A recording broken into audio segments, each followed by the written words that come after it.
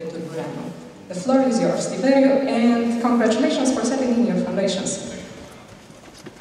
Thank you.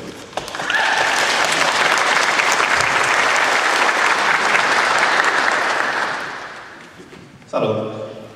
Pentru că este o fundație românească, voi vorbi în limba română și publicul este în principal românesc.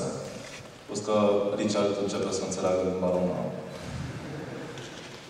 Um, ceata. Nu știu câți dintre voi știu ce, ce este ceata. Uh, ar putea să zicem una sus, cine a mai auzit de ceata și știe despre ce e vorba? Mulțumesc. Deci jumătate din sală știe despre ceata, cealaltă știe despre Richard. Și despre Richard. Exact. Um, Bun, ceata este o comunitate care a început în iunie 2008 um, din nevoia de a face ceva pentru libertatea utilizatorilor. Um, atunci, grupurile care existau în domeniul programelor libere um, erau doar axate pe beneficiile economice sau pe beneficiile um, strict, uh, strict uh, de strategie, nu neapărat pentru că uh, erau interesate de libertatea utilizatorilor. Noi credem că utilizatorii ar trebui să fie liberi și ce înseamnă să fie liber? Înseamnă să poată să copieze, să modifice, să distribuie, inclusiv în scop comercial, lucrările. Când zicem lucrări, ne referim atât de la programe, cât și la arte, la cultură. Programe de calculator, acestea, lucrări, aceste lucrări libere se numesc programe libere, iar în privința artelor libere sau culturii libere, avem filme libere, fotografii libere, Primele, noi folosim licențe pentru aceste uh, lucrări, care sunt uh, libere nepermisive. Ce înseamnă că sunt libere? Dau libertățile acelea, acele patru libertăți enumerate tuturor utilizatorilor, nu doar anumitor utilizatori, eventual cei care investesc bani în crearea acelor uh, lucrări. Nepermisive înseamnă că noi ne propunem să păstrăm aceste libertăți și pentru lucrările derivate. Dacă ei un uh, o lucrare și o modifici și o redistribui, inclusiv în scopuri comerciale. Noi credem că ar trebui să păstreze libertățile pe care autorii originali le-au dat uh, utilizatorilor. Și pentru uh, programe libere, bineînțeles, folosim uh, licențele proiectului GNU, uh, promovate de Fundația Free Software Foundation. Și pentru uh, lucrările uh, de artă, folosim Creative Commons, din, din colecția Creative Commons doar acelea care sunt libere. Attribution, attribution share alike și public domain, unde este aplicabil. Cam cu asta ne ocupăm noi. Facem lucrări libere și vorbim în public despre aceste uh, lucrări, despre libertăți și contribuim chiar și la alte uh, lucrări libere dezvoltate de organizații internaționale. Uh, de-a lungul timpului am colaborat cu mai multe organizații și grupuri informale de atât din țară, cât și din străinătate. Uh, din țară aș putea să număr Mosca România, uh, Centrul Român de Jurnalism de Investigație, uh, Active Watch, bineînțeles, Universitatea, prin Facultatea de Științe Politice, Rosedu, din afara aș putea să număr Mozilla ca proiect internațional, uh, Fedora, um, aș putea să zic uh, și proiectul nou, cum încercam să contribuim și la proiectul nou, uh, cu FSFE, Free Software Foundation Europe, sora Fundației Mamă din America, și ne propunem să, acum că avem un cadru legal juridic, este prima fundație de programe libere din România, Uh, ne propunem să facem mai mult pentru utilizatorii uh, români, atât din România cât și din afara ei, în special din Republica Moldova. Uh, noi avem, suntem o organizație într-un fel mai nedemocratic, s-ar putea spune, în sensul că nu dăm acces tuturor să ia decizii. Noi veniți trebuie mai întâi să înțeleagă ceea ce promovăm noi și pe măsură ce demonstrează că am înțeles și se implică activ, Uh, Uh, realizând lucruri uh, în cadrul comunității, promovează la Consiliu. De aceea am ales și forma de uh, organizare de fundație. Avem un Consiliu Director și aș vrea să prezint membrii Consiliului în ordinea în care sunt așezați.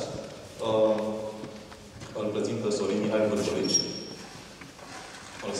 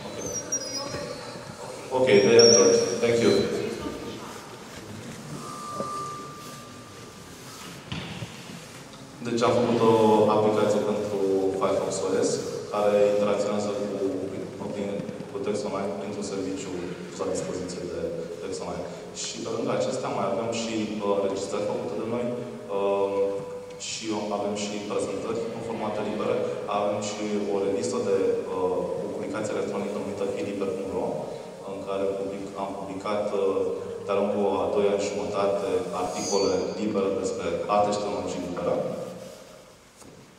Și cred că vom continua să facem o treabă bună. Mulțumesc. Altă întrebare? Ați menționat o listă de organizații cu care ați colaborat. Ați colaborat și cu cei de la IFF,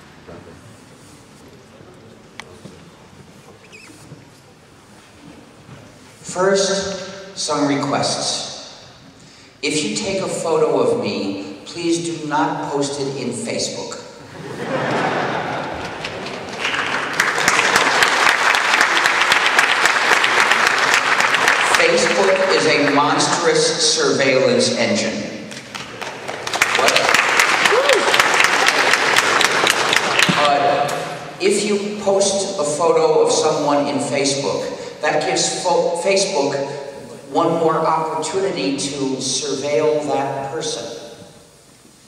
We could discuss whether putting a photo of your friend in Facebook is decent treatment of a friend, but that doesn't affect me personally. Whereas putting a photo of me in Facebook hurts me personally. Please don't do it. And if you take photos of me with a phone, and you want to distribute a copy to anyone in any fashion, make sure you have deleted geolocation information from it first. I recommend doing that with photos of anybody whatsoever, but I only make the request for me. Second, if you record this talk, audio or video, and you want to distribute copies, please do so only in the formats that are favorable to free software. Those are Theora and WebM. So no MP anything. Certainly no Flash. And no uh, Real Player, Windows Media Player, or QuickTime.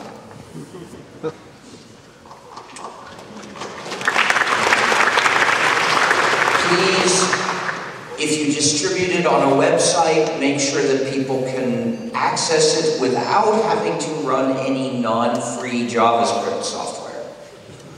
And please put on the recording the license Creative Commons No Derivatives, because this is a presentation of my personal views.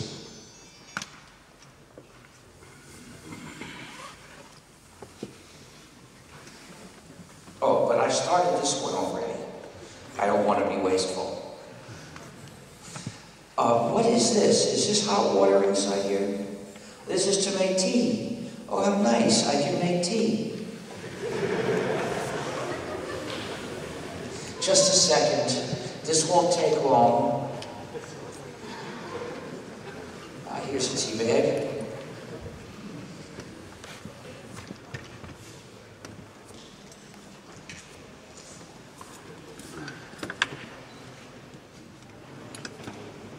So I'd like to inform people that we have stickers over here that are gratis. You can take them as you leave. Even if you leave during the question period, you can come up and take stickers. Uh, take as many as you can make good use of. And over there are FSF items for sale. so, what is free software? Free software means software that respects your freedom and community. So it's free as in freedom. We're not talking about price here. So to understand the term free software, think of free speech, not free beer.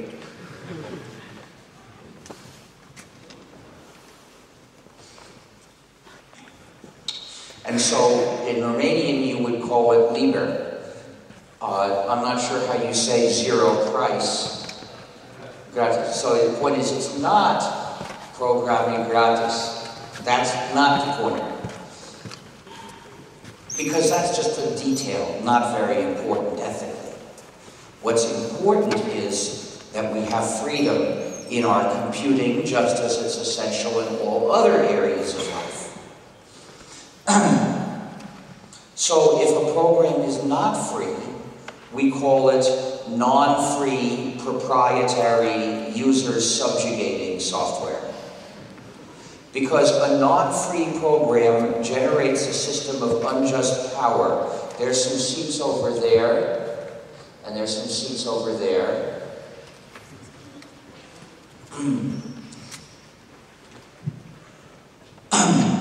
A, non- a non-free program is a system of digital colonization, which keeps the users divided and helpless. Divided because they're forbidden to redistribute copies, and helpless because they don't have the source code, so they can't change it. They can't even study what it really does to them. And often it's designed to do something nasty. So software should all be free. But what I've said is very general. It respects your freedom and community. Let me be more specific. A program is free software if it comes with the four essential freedoms. So there are many free, there are many empty chairs over there. Uh, on that side you can find many. There are a few over here as well.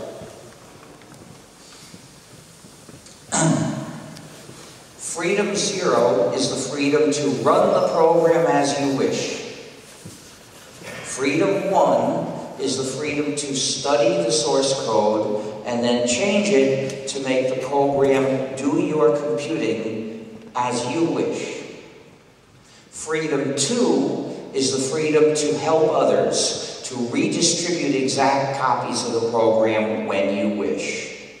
And freedom three is the freedom to contribute to your community. That's the freedom to distribute copies of your modified versions when you wish. So if the program comes with these four freedoms adequately, then it's free software because the social system of its distribution and use is an ethical one, one that respects freedom and community. But if one of these freedoms is missing or insufficient, the program is user subjugating software because it imposes an unethical social system on its users.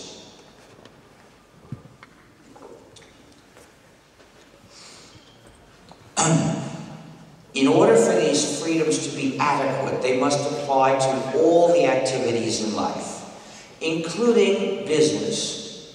Now, corporations are not people, and they are not entitled to human rights. However, it's not good for society to let company A have control over company B's computing so company B ought to have control of its own computing also. And therefore free software applies to businesses. These issues apply to businesses as well as to individuals. But note that these four freedoms are not obligations. You're not required to do any of these things with free software. Free software means you're free to do them if you wish. Thus, with Freedom Zero, you're free to run the program as you wish, but it's not required. If you're a masochist, you can run it as you don't wish. You also have the option not to run the program. With Freedom 1, you are free to study the source code and change it, but it's not required. You're also allowed to receive the program and run it right away without looking at anything. And that's the usual case because we're all busy.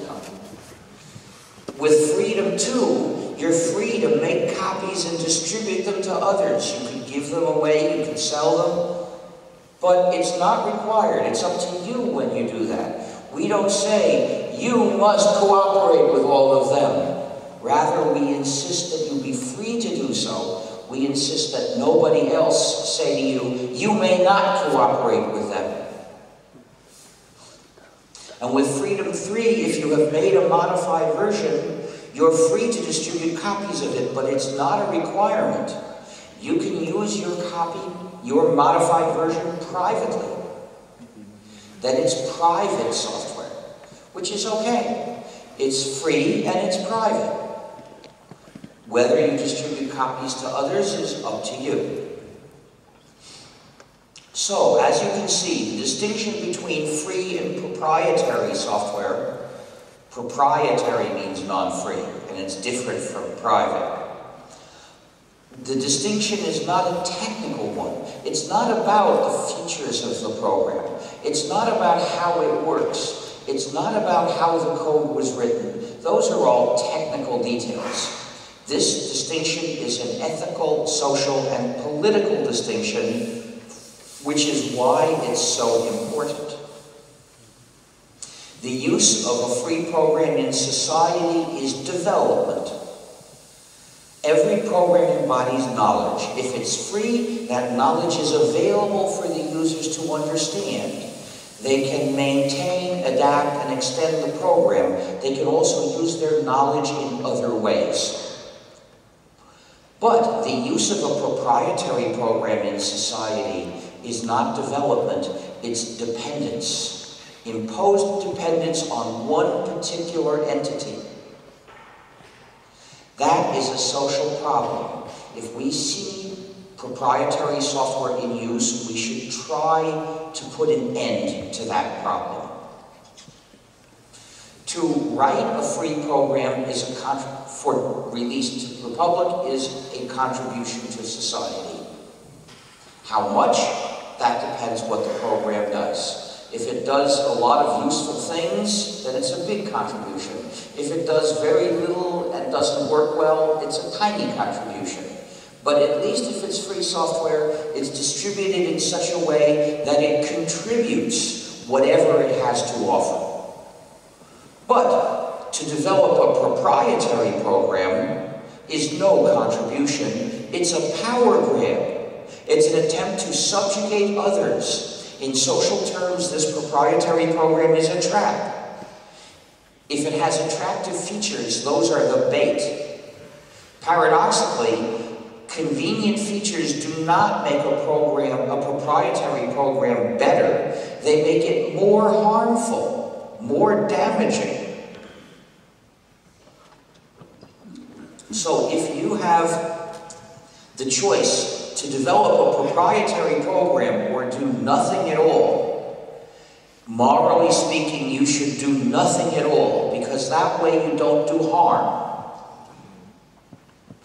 In real life, you probably have more than those two choices. You have some other options which might be better than both. But when we consider just these two options, never develop a proprietary program. Do nothing instead. At least do no harm. Thus, the goal of the free software movement is that all programs be free so that all their users can be free. But why are these four freedoms essential? Why define free software this way? Each freedom has a reason. Freedom two, the freedom to help others, the freedom to make and distribute exact copies, is essential on fundamental moral grounds, so you can live an upright, ethical life as a good member of your community.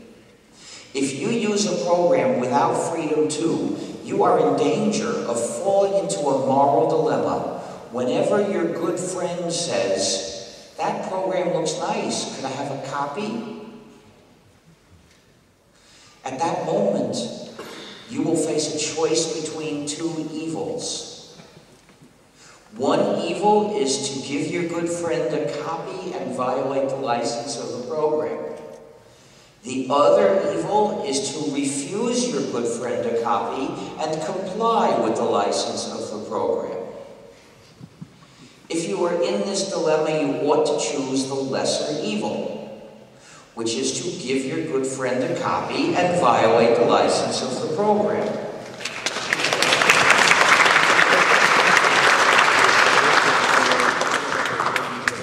Why is this the lesser evil? If you can't avoid doing wrong to somebody or other, it's less bad to do wrong to somebody who deserves it because he has done wrong.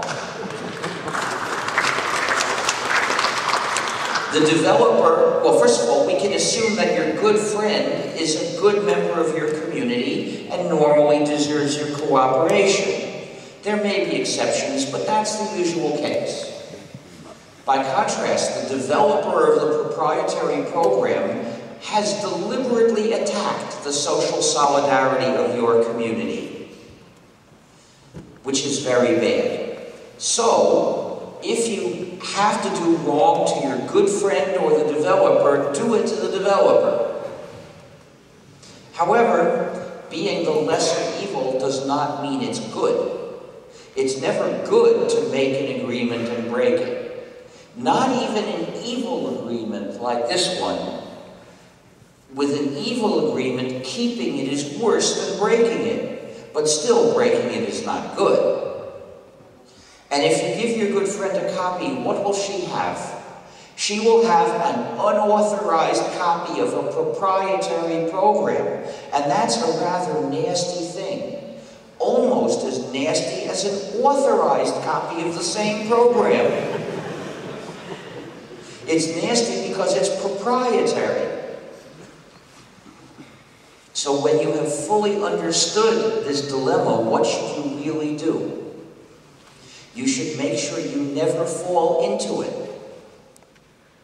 Take precautions in advance. Don't risk being in the dilemma. I know two ways to avoid it. One is don't have any friends. That's what the proprietary developers have in mind for you. Instead of friends, you could have Facebook friends. The other method, my method, is reject that program. If you don't have a copy yourself, you can't fall into the dilemma. So that's what I do. If someone offers me a program, no matter how attractive it might be, on the condition that I not share it with you, I say, my conscience does not allow me to accept those evil conditions, therefore I won't use your program, take it out of here. That's what you should say also. You should reject software that denies freedom two.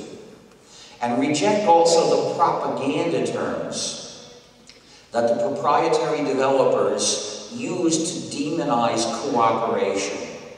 For instance, they say copying is theft. Since we're in a school of law, I should point out that that's a lie. Any lawyer should know copying is not theft. And in most cases, it's not even a crime. Even if it is copyright infringement or violating some contract, that's not normally a crime. And they use the word piracy. well, Piracy means attacking ships.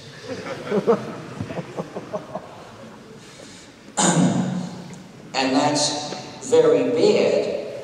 But sharing is good. So we shouldn't call them by the same name. So when people ask me what I think of piracy, I say attacking ships is very bad. And if they ask what I think of movie piracy, I say, I like the first Pirates of the Caribbean, but not the second because that was unfair to parrots. And I like parrots. So you get the point. I look for a funny way of pointedly rejecting their propaganda term.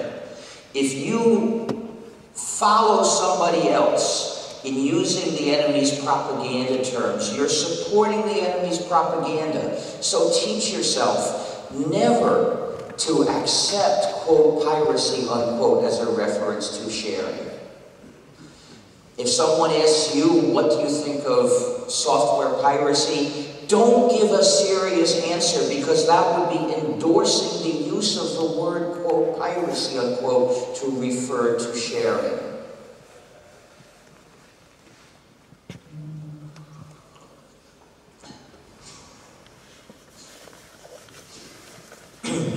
So that's the reason for freedom two. The freedom to help others. The freedom to make and distribute exact copies when you wish. Essential on fundamental moral grounds. But freedom zero, the freedom to run the program as you wish, is essential for a different reason. So you can have control over your own computing. Every user deserves control over his own computing.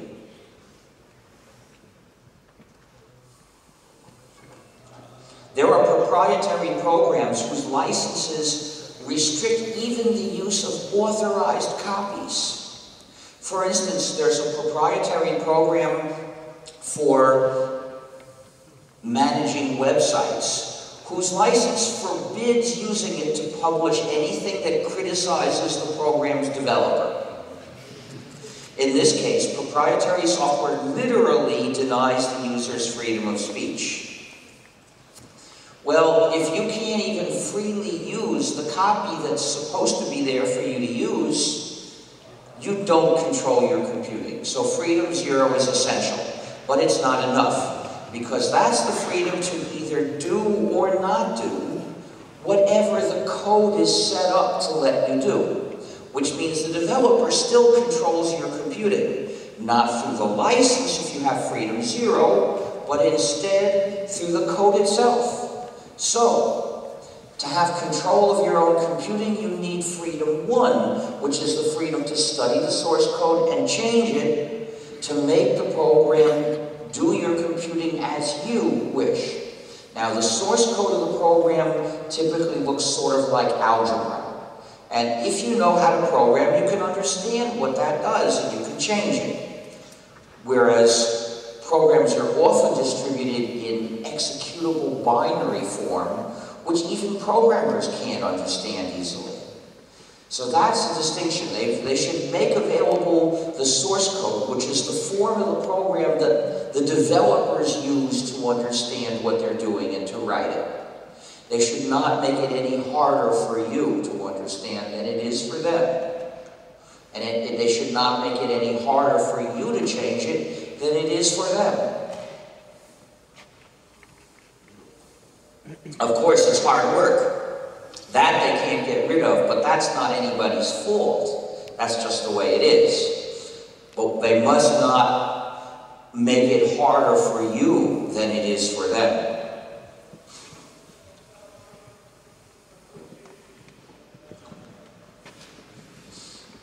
Now, this freedom includes having the option to actually install and run your version.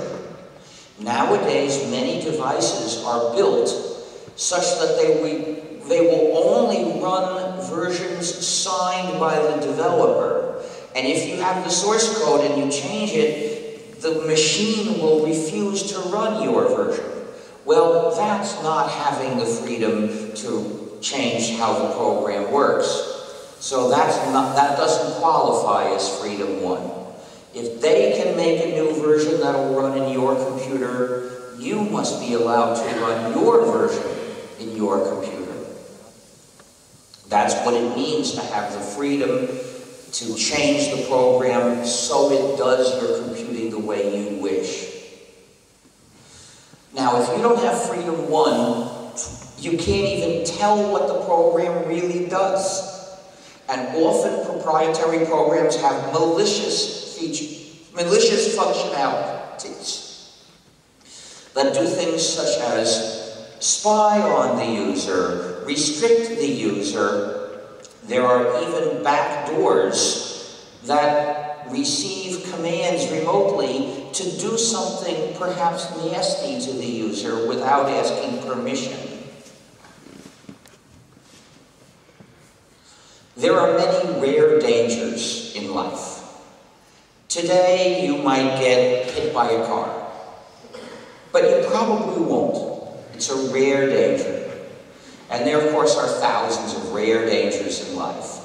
But mostly we go through our lives and these things don't happen to us. Being the victim of proprietary malware is not a rare danger. It's the usual case. Almost everyone who is using proprietary software is the victim of malicious functionalities. Let me prove this with a list of examples. One proprietary package that has all three kinds of malicious speech functionality that you may have heard of is called Microsoft Windows. There are known surveillance features in Microsoft Windows. There are digital handcuffs, the functionalities that restrict what users can do with the data they have in their machine. These, of course, can't be hidden. The users can tell that the system refuses to do these things. There are also known backdoors So, Windows is malware. Literally. Malware means software designed to hurt the user. Windows is malware. But it's even worse because one of these backdoors gives Microsoft or anyone else that knows the secret for how to use it the power to remotely install software changes. Which means that any malicious functionality that is not in Windows today could be remotely installed tomorrow. This is a universal backdoor because it can be used to do absolutely anything. It's in the same sense that a computer is a universal machine. It can be programmed to do anything computable. So, Windows is universal malware.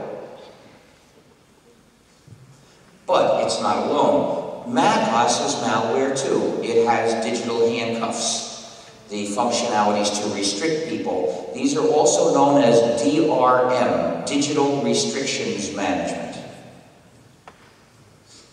The software in the iThings, Apple's newer and monstrous products, is much worse. People have found several surveillance features. They have the tightest digital handcuffs ever known in general purpose computing.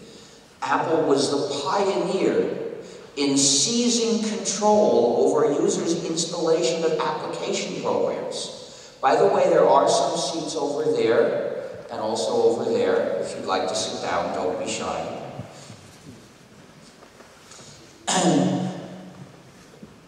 Ah, he left instead.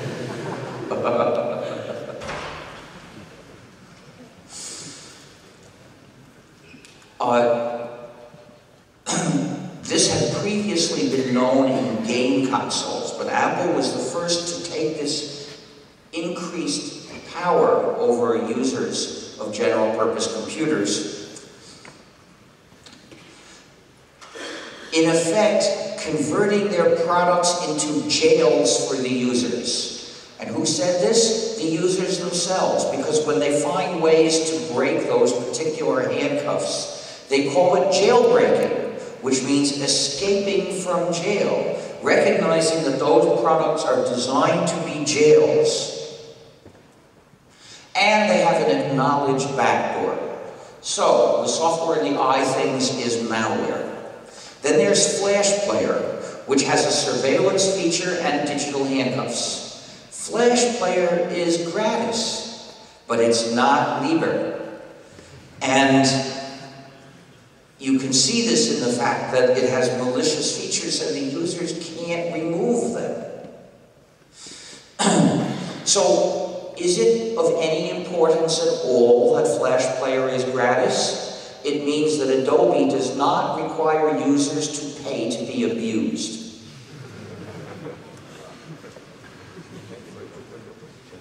Then there's Angry Birds. Angry Birds is spyware. It collects location information. Many apps for smartphones are spyware, or in other ways, malicious. then there is the PlayStation 3. As I said, the feature of restricting what programs people can run existed in game consoles first.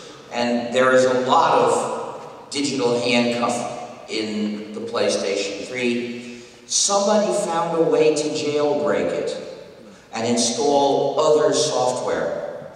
And Sony sent the police after him, which is why we call for a total boycott of Sony. And there, is, there are boycott Sony stickers, although they're turned upside down so you can't see what they say.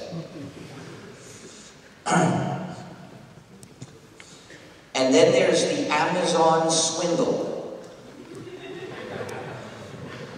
An e-reader that swindles readers out of the traditional freedoms of readers of books. For instance, there's the freedom to acquire a book anonymously,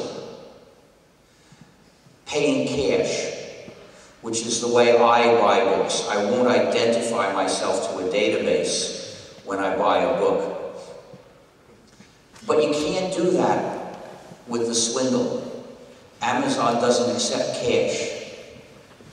Then there's the freedom to give the book to somebody else after you read it, or lend it to various friends, or sell it to a used bookstore. The Amazon abolishes these freedoms for the swindle with digital handcuffs, together with contracts that say that you can't own a book. Amazon does not respect private property. Amazon says all of your books are belong to us.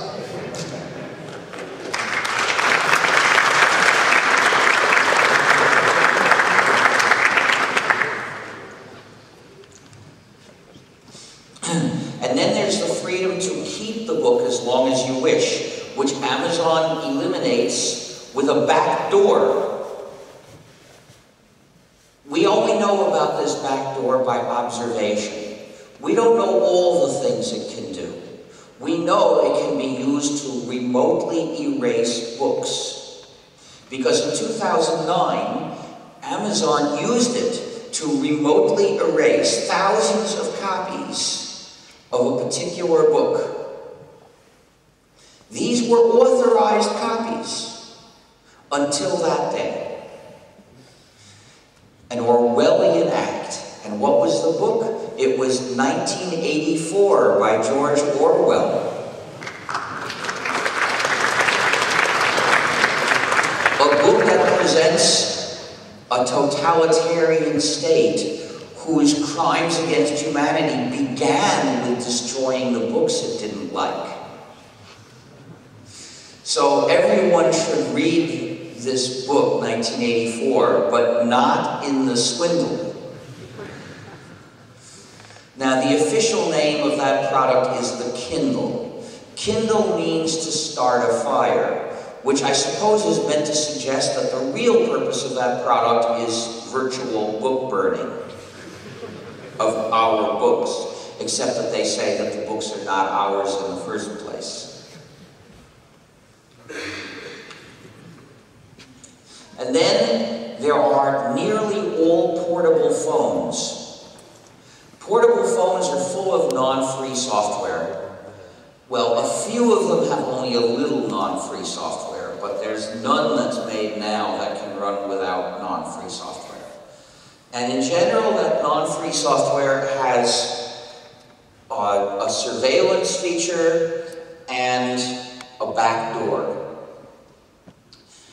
Um, the surveillance feature transmits the location frequently, and the user can't stop it. It'll transmit the location on re in response to a remote command. The back door is universal. It allows remote installation of software changes. And this has been used to convert portable phones into listening devices that transmit all the conversation in the room you don't have to talk into the microphone. It can hear you if it's over there. And it transmits all the time, even when it appears to be switched off. So, you've heard of software that has bugs. This software is a bug. programs. We don't know if they're malware. It's hard to find out because we don't have their source code. So effectively, every program without Freedom 1 is just trust us software. It demands blind faith. The developer says, we're a big corporation. Of course you can trust a corporation. No corporation ever mistreated the public.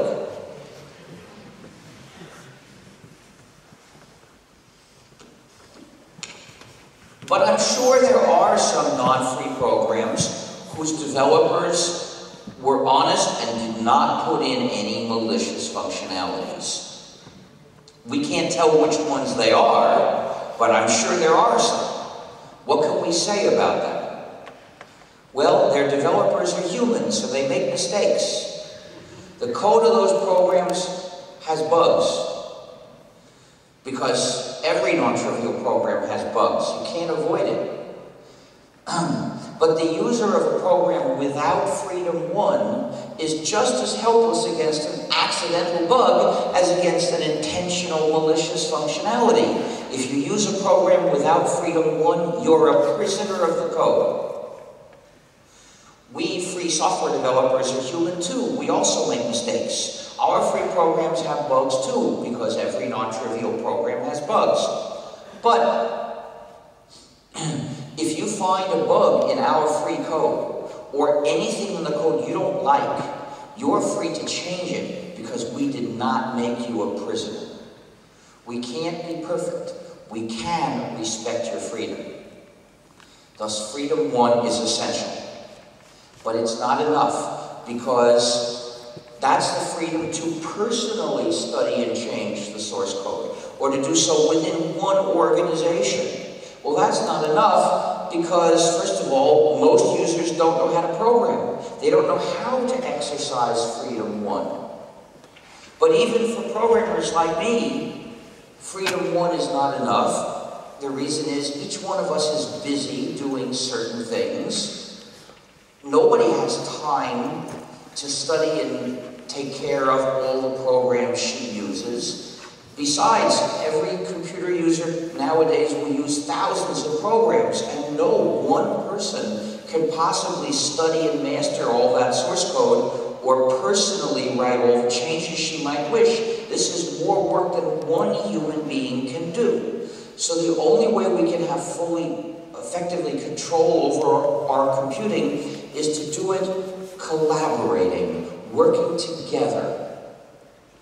And for this we need Freedom 3. Freedom 3 gives us collective control over our computing. It means that any group of people can work together adapting a version of the program to do what they wish. and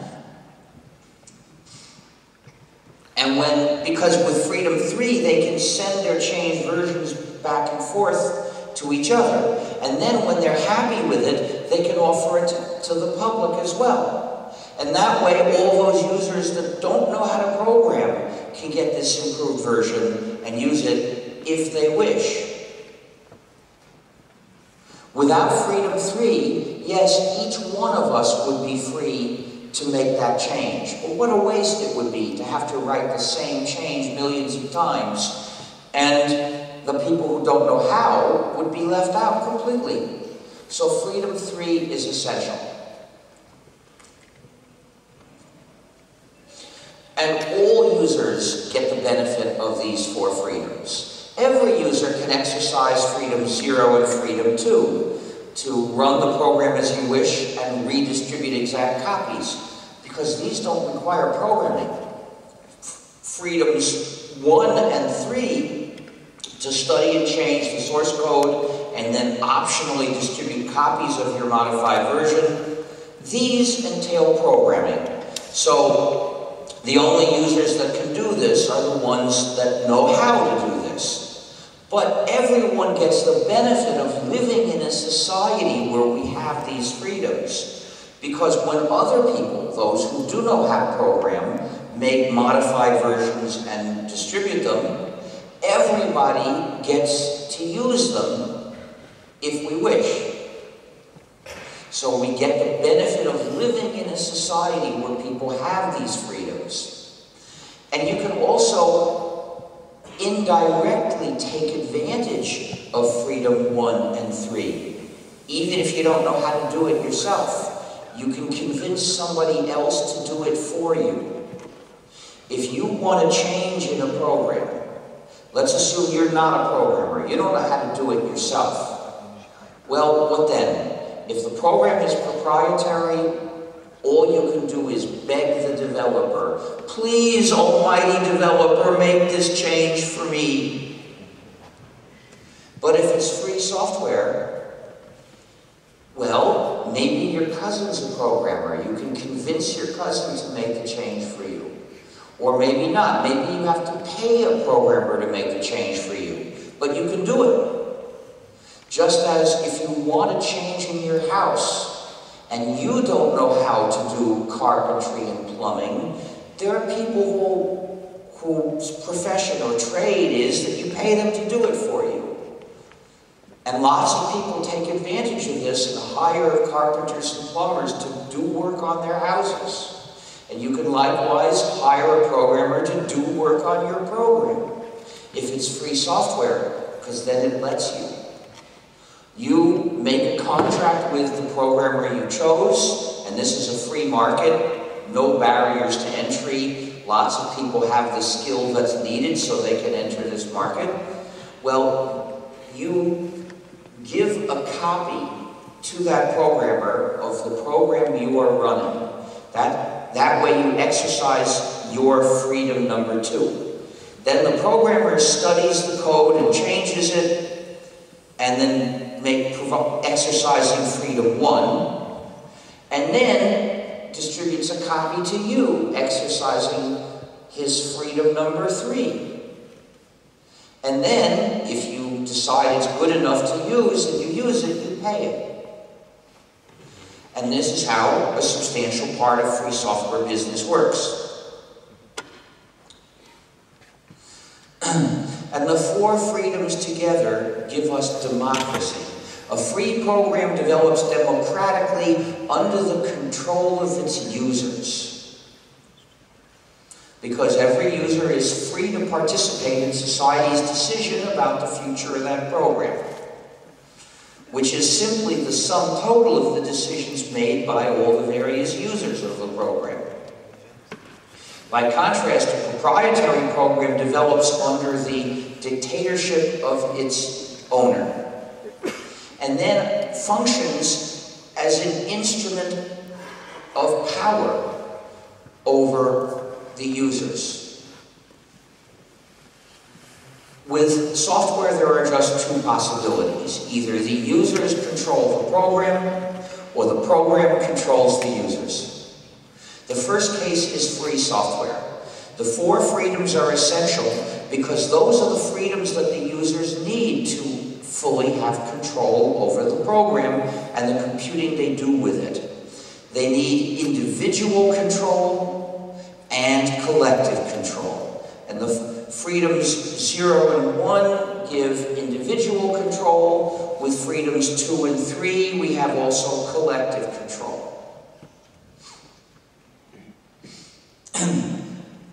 but if the users don't have these freedoms, then they don't control the program, so the program controls the users, and the owner controls the program, and thus through it, the owner exercises power over the users. And this non-free program is simply an instrument of power. And the owner typically is fully aware of the power that it has over the users, and thus feels the temptation to put in malicious features. This is why malicious features are so common in proprietary software. Systematically, the owners feel the temptation and they give into it because they're typically corporations, in other words, psychopaths by structure.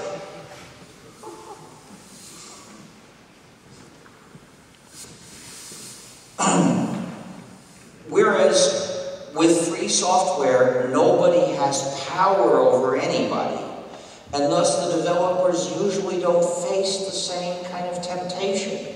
And that's why malicious functionalities are rare in free software. So, society has a choice to make. On one side, we have individual freedom, social solidarity, and democracy. On the other, we have the dictatorship of the software owner over the users. Society must reject proprietary software and choose free software. Thus, the ultimate goal of the free software movement is the liberation of cyberspace and all its inhabitants.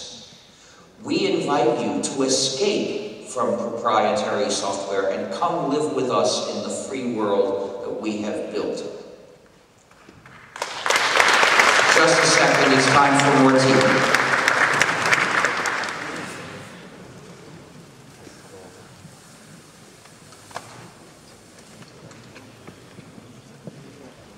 I started the free software movement in 1983. I wanted to make it possible to use a computer and have freedom. That was impossible at the time. Because the computer won't really do anything for you without an operating system installed. And all the operating systems for the modern computers of that time were proprietary. So, for instance, if you bought a new PC, in order to make it useful, you needed to have a proprietary operating system installed, and there went your freedom.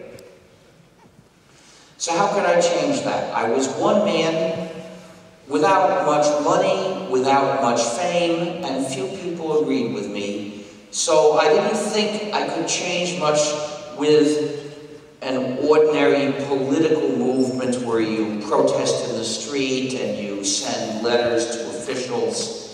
And besides, I had no experience doing that. I was not a political organizer. I was an operating system developer.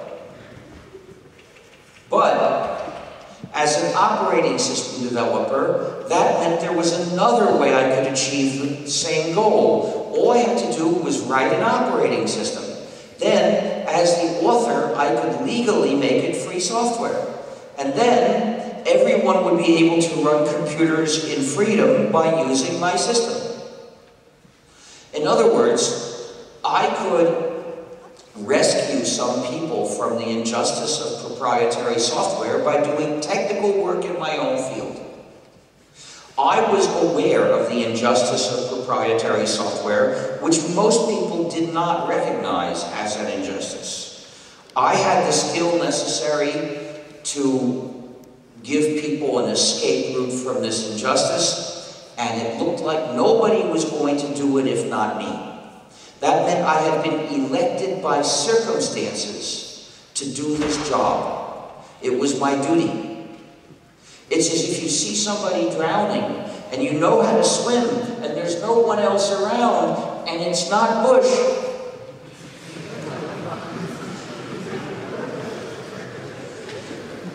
Then you have a moral duty to save this person. Well, perhaps that statement is too strong. Perhaps we could identify some other people, like Bush's torturers and the people who, like Obama, who protect Bush's torturers, and the other people in various countries. Wasn't Romania one of them? Who cooperated with CIA kidnapping and torture. Well, this could be a big list, of, of people whom we perhaps should, about whom I should perhaps not affirm a moral duty to save them. Fortunately, I don't need to make this list because I don't know how to But in the real instance in my life, the work to be done was not swimming. It was writing lots of code, and I knew how to do that. So I decided to develop an operating system that would be totally free software. Every line would be free software. The point is, if there's any piece of the system which is non-free, that's a part of you which has chains. So in order for the system to respect your freedom, every piece must be free software. So then I decided to recruit others to help write it, to finish it sooner. Then I decided to make it a Unix-like operating system. That is, it would look and work just like the Unix system. Unix was a proprietary operating system with some technical advantages and it was widely used. By making my system compatible with Unix, I would make it easy for lots of people to switch to it because they would already know how to use it. And then I gave it a name, which is a joke. The name of the system is GNU, G-N-U. And this is a joke because it's a recursive acronym. GNU stands for GNU's Not Unix. Of course, we programmers love jokes involving recursion, But actually, there's another meaning to this. Recursive acronyms like this one were the customary way in my community to give credit in the case where you made a program similar to some existing program. So, by calling it GNU's not Unix, I was giving credit to the ideas I would get from Unix but also expressing the most important thing about this system, namely, it's not Unix. Unix was proprietary software. You couldn't possibly use Unix and have freedom. In order to make a system that could respect your freedom, we would have to rewrite every piece from zero. We couldn't use any of the code of Unix. That would have been illegal, and, or else it would have meant the system was not free and it would fail to do its job. Now, the word GNU is an even better joke than you might think. Well, first of all, in order to be a joke, it needs two meanings. Well, GNU's not Unix is one meaning, but there has to be a second meaning. Fortunately, that is a word. It's the name of an animal that lives in Africa. and if you watch uh, uh, wild animal programs, you've probably seen a bunch of GNUs.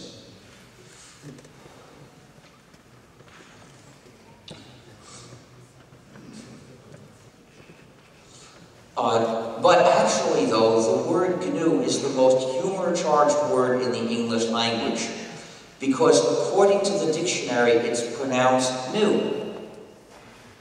So every time you want to write the word new, you can spell it G-N-U and you've got a joke. Perhaps not a very good joke, but there are lots of them. So we have been taught to associate this word with laughter.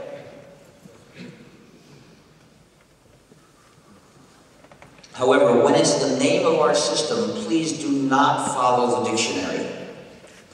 If you say the new operating system, you'll get people confused. You see, we've been working on it since January 1984, which is over 29 years. And we've been using it for over 20 years, so it's not new anymore. But it still is GNU and will always be GNU. The other erroneous pronunciation that you've probably heard that you should avoid using sounds like Linux. It's amazing, but most of the time when people talk about the GNU system, they erroneously call it Linux. This is a confusion that started in 1992. At that point, we had almost all of the necessary pieces for the GNU system, but one major essential component was still missing. That component was the kernel. The kernel of an operating system is the component that allocates the machine's resources to all the other programs. now, we developed a kernel, but it was too ambitious a project. I chose an elegant design. I didn't write it, we hired a person to write it, and it took six years to have a test version. It works, but it doesn't work all that well, so mostly people don't use it. Mostly they use the kernel Linux. Linux was started in 1991 by Mr. Torvalds as proprietary software. Its license was not free because it was too restrictive. It didn't fully give you the four freedoms. However, in 92, he changed the license and he adopted the GNU General Public License, which is a free software license that I have written for use in the, as the license of GNU programs. But I had designed it so anyone else could release a program under that same license.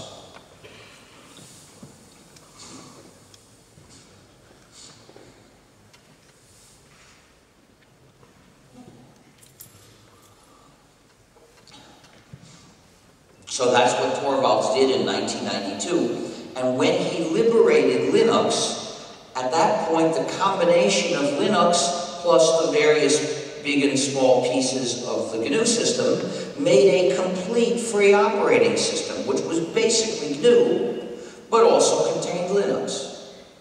So it was the GNU plus Linux system, if you want to be fair. However, the people who combined them, since we still thought that our kernel would be working any week now, we were not at first interested in Linux. So other people put Linux together with the various components of GNU, and those people were focused so much on this one component Linux that they started referring to the whole thing as a Linux system. Essentially talking about something that was mainly our work and giving us none of the credit, which is not nice. So when you talk about the system, please call it GNU plus Linux. Please give us equal mention. The GNU project is the principal developer of the system. There are many other contributors, of course, more than you could mention, but you shouldn't leave out the principal developer.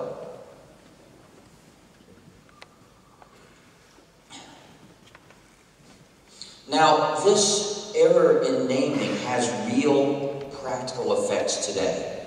The problem is that lots of people think that the system was started by Mr. Torvalds that it comes from his vision of life and that it exists thanks to his ideas. So they tend to admire him and follow his ideas and ignore and despise ours. And what are his ideas? Well, he doesn't believe that you deserve freedom in your computing. He doesn't believe he deserves freedom in his computing. He doesn't think it's important. He says that he's happy to use non-free software as long as it's powerful and reliable. And as far as I know, he hasn't confronted the fact that it's likely to be malicious. So he has a right to his views. He has a right to promote his views. He's not entitled to cite our work that we did for the sake of your freedom as if it were his work in support of his opposition to our motives for doing this work. But that's exactly what happens when people think the system is Linux. So, please help make people aware of what our campaign for freedom has given them by calling the system GNU plus Linux or GNU slash Linux. Now, freedom is frequently threatened. To keep it, you must defend it. This is true in all areas of life. And in most areas of life, the debate about human rights has gone on for decades or centuries, which is enough time to reach conclusions about what human rights people ought to have and spread them around the world. This doesn't always mean we succeed in defending human rights, but sometimes we succeed. At least it's a base for trying. However, computing is a very new area of life.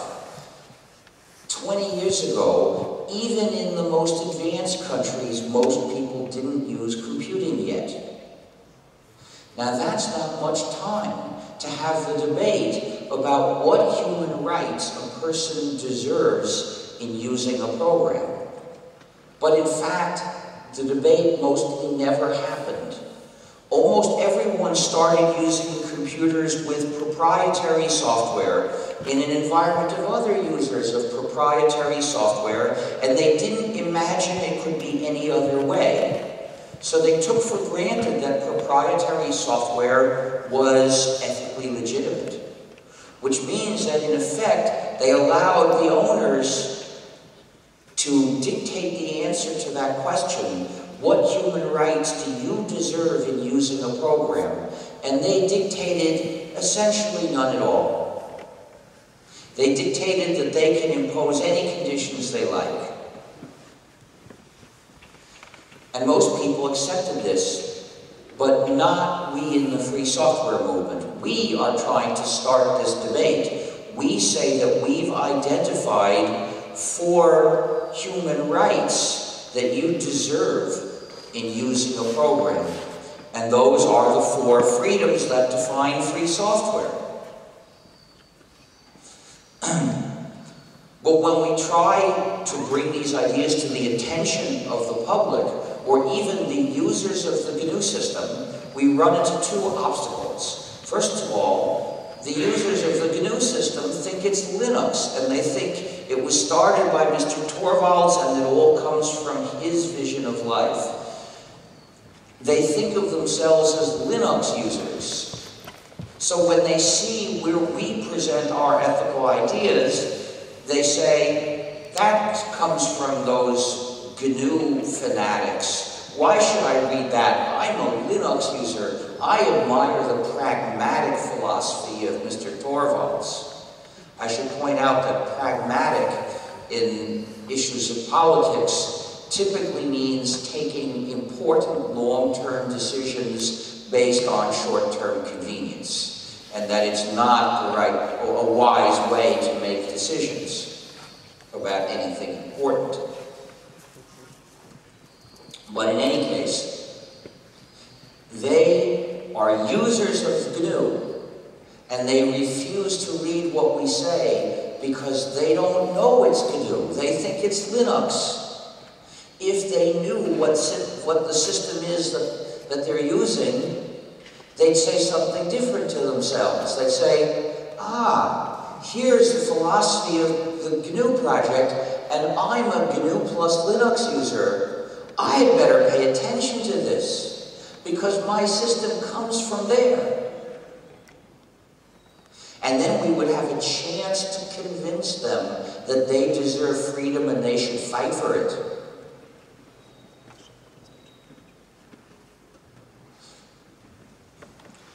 But there's another obstacle. Nowadays, in English and some other languages, you will rarely see the term free software. Instead, the people who disagree with us have another term that they use, quote, open source, unquote. That term stands for a choice not to consider the issue in ethical terms not to regard this as a matter of justice versus injustice. During the 90s, as GNU slash Linux spread in the, initially among technical people, a lot of them saw that it had practical advantages. It was powerful, reliable, efficient, cheap to use, it was cool, so they recommended it to their friends, but they didn't talk about ethical issues because they hadn't heard about them. So we ended up in the free software community with two different political camps. There was the free software movement, those of us who said the goal here is to have freedom in our computing, therefore we must replace all the proprietary software and not use it. And then there were the other people who liked and often and typically used and in many cases contributed to development of free programs, but they didn't see it as a matter of right versus wrong. So they would only present practical reasons for using the same free software.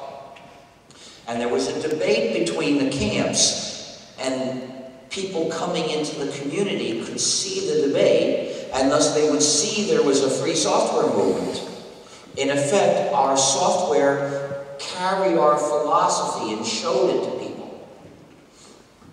But in 1998, the people in the other camp coined the term open source, which had not been used in computing before, as a way to refer to free software without suggesting that it's an issue of freedom. Because they had a new term, they could choose which ideas to mention and which ideas to omit. They omitted the entire ethical level of the issue. they presented this in terms of practical convenience values only. So they wouldn't say, you deserve to have control of your computing, so reject proprietary software. They would talk about practical advantages you might get from switching to GNU slash Linux. we say if you develop and release a program, it's your moral duty to respect the freedom of the other users by releasing it as free software. They would say, if you develop and release a program, it's in your practical interest to let the users change it and redistribute it because they will improve the code quality. They don't appeal to anything deeper than code quality as a reason.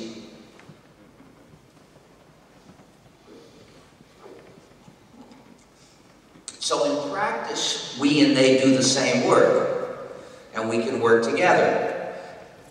However, at a deeper level, our views are totally different from theirs. Our values are different from theirs. Anyway, open source was a majority of the community, and the businesses were mainly with them, because there were already quite a few free software businesses by 1998. And mostly the politicians and the journalists followed them. And since then, in the US, you rarely see any mention of free software in the media. They only talk about open source. If they mention us, they pretend that we are open source supporters, misrepresenting us. In fact, I've seen several articles that called me the father of open source.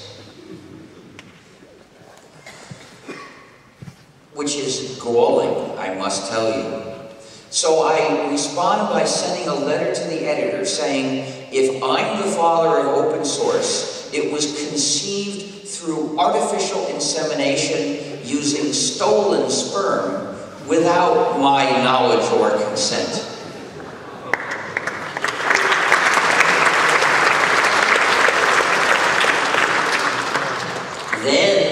I present the ideas and name of the free software movement.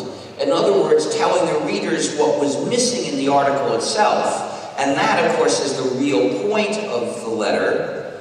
But I figure starting with a joke can't hurt. I like jokes, but also maybe the joke will cause them to print the letter. Well, I do, I do this as much as I can, but I can't do enough of this. We need you to spread the idea that free software is a matter of freedom that users deserve. So when you're in a discussion and other people are talking about open source and presenting the issue as purely a practical one, you can help our movement simply by saying uh, Programme libre and insisting that this is a question of right and wrong. You can't make other people think so, but you can show that you think so. And there may be other people in the discussion who are thinking, I don't dare speak up about this because I don't want to be the only one. And once you speak up, they'll see they're not the only one. And they can speak up too. So it's very important for you to speak up even if you don't think you can convince all the other people, you will still achieve something by showing that one person in that discussion does care about freedom. because ultimately our future depends above all on what we value. If we could magically make free software to do every job, then say today, then we could hand this out to people and assuming we could also tell them the signature keys so that they could make modified versions and tell their machines to run them in the case of those pirate machines I, I mentioned in the connection with Freedom 1, well then every user could switch to free software. Then tomorrow everyone could be running only free software. They would have freedom in their computing at least, but would they still have it in five years? Not necessarily, the fool and his freedom are soon parted. If you give somebody freedom but he doesn't appreciate it, he'll let it slip through his fingers. If he values freedom, he can close his hand and hold on to it.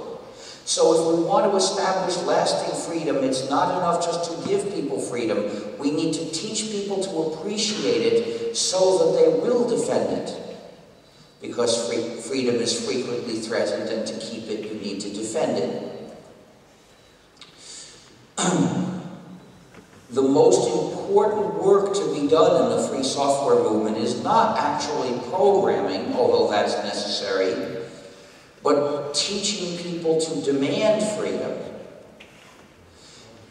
And this is more scarce. We have fewer people working to spread the idea of demanding freedom than we have people writing free software.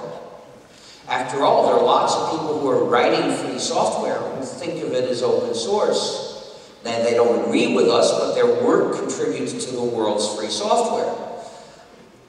So if you want to help and do the thing that's needed the most, become an activist. For instance, like the organizers of Ceata.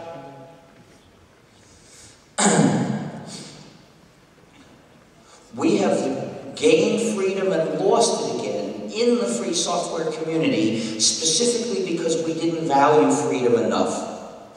For instance, in 1992, when Torvalds liberated Linux, it filled the last gap in the GNU system, and we got GNU plus Linux. You could buy a new PC and install the system in it and use it in freedom. But it wasn't easy. At the beginning, you had to tinker with it. You had to get to be a real expert.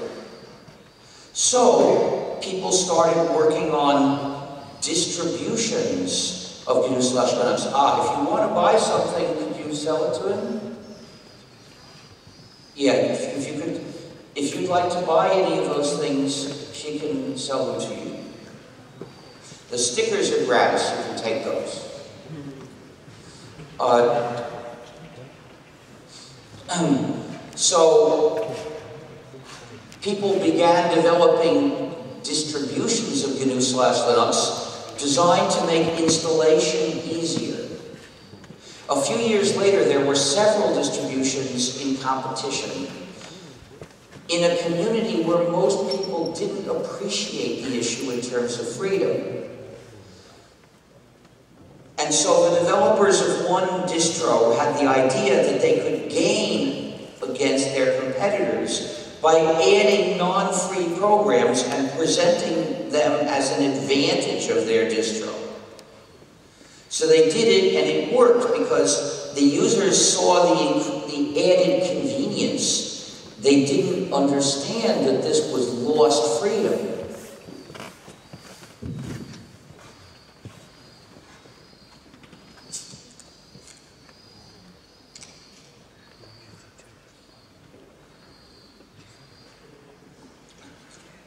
So then the developers of other distros looked at that and said, uh-oh, they're gaining on us because they have these convenient non-free programs. We have to put in non-free programs also so that they won't have an advantage over us.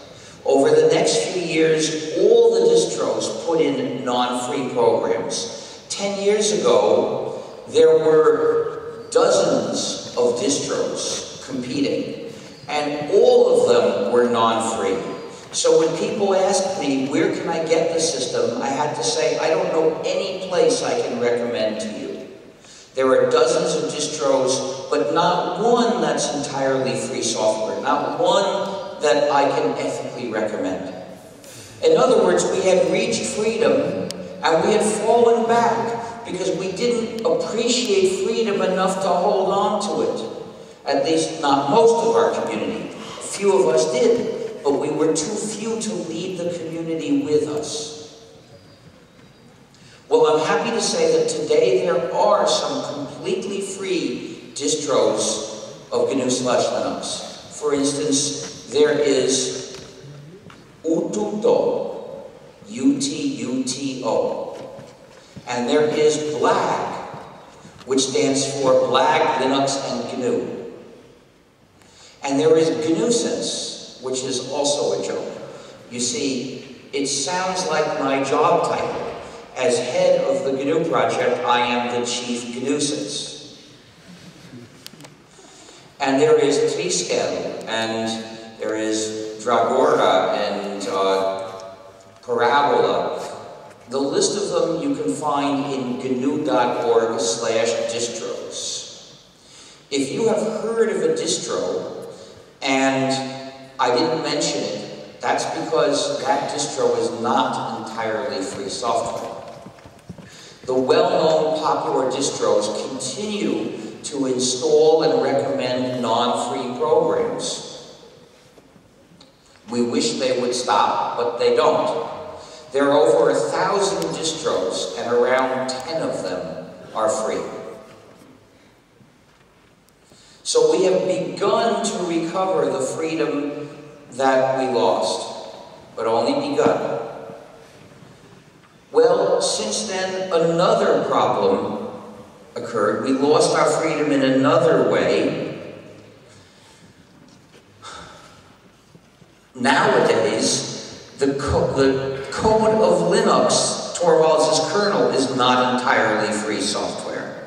Oh, most of it is. But there are pieces which are exceptions. There are non-free programs in Linux. In fact, there are parts of the Linux source code which are not free software because they're not real source code. You'll find long lists of numbers, up to 300,000 numbers in a list. And each of these lists is really an executable program dressed up as source code. But you can't make source code out of an executable program by writing it as a list of decimal numbers or hex numbers. It's still just a binary executable.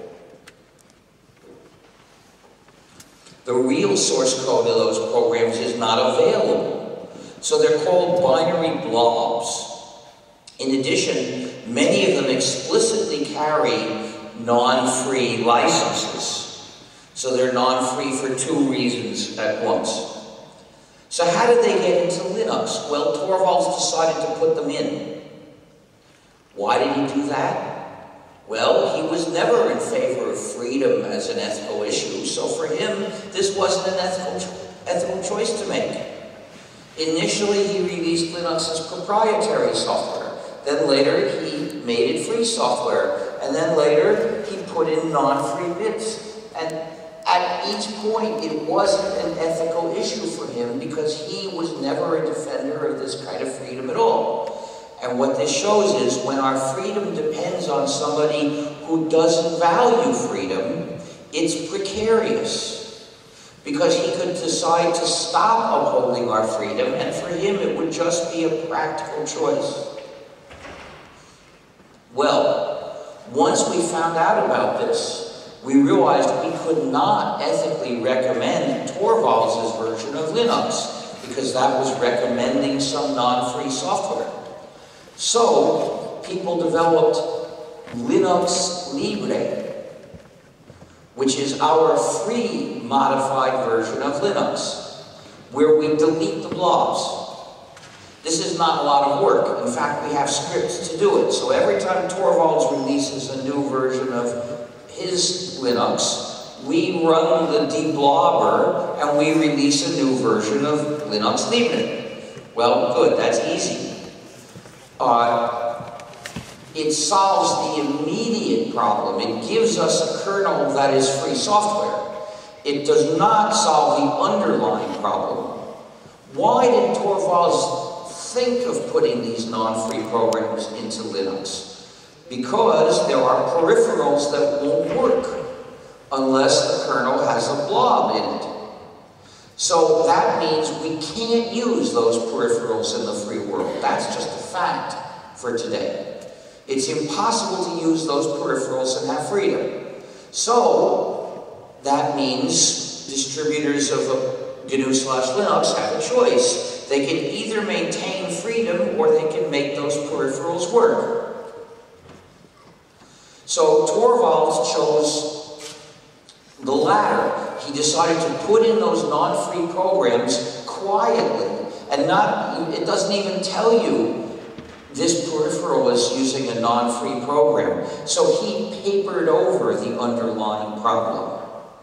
Whereas we recognize the underlying problem. We say, our kernel doesn't work for those peripherals because we don't have free software that can do the job. If you want freedom, you've got to do without using that peripheral. Get a replacement. We have a, a site called h-node.org which lists which peripherals do and do work with free software. So you can tell what you need to get. Now, we'd really like to fix the underlying problem. There are two ways to do that. One is convincing a company to liberate the source code of its blob. And occasionally that's possible. But usually what has to be done is reverse engineering.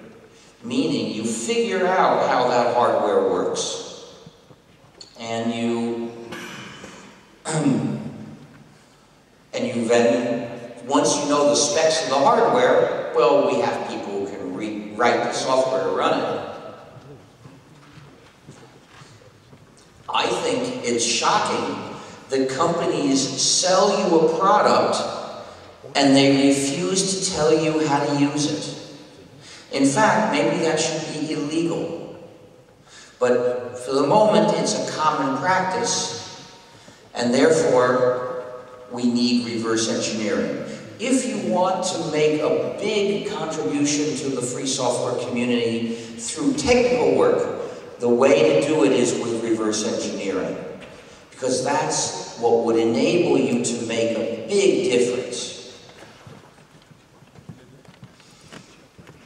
So, these are two examples. There are more, but two are enough to show that our future depends above all on what we value. If we are to have freedom in the future, we need to spread the idea of valuing freedom, and that includes being willing to make a sacrifice for it. Like saying, I won't do that job on my computer because it can't be done with free software. I'm going to replace this peripheral rather than run a blob or a non-free driver to use the peripheral because I really want freedom. And when you do this and you show it to other people, you set an example. That example is vitally important. Nowadays, it's quite likely that you were running non-free software on your computer without even knowing it got there. Many web pages contain non-free programs, typically written in JavaScript, that get installed silently into the browser and run.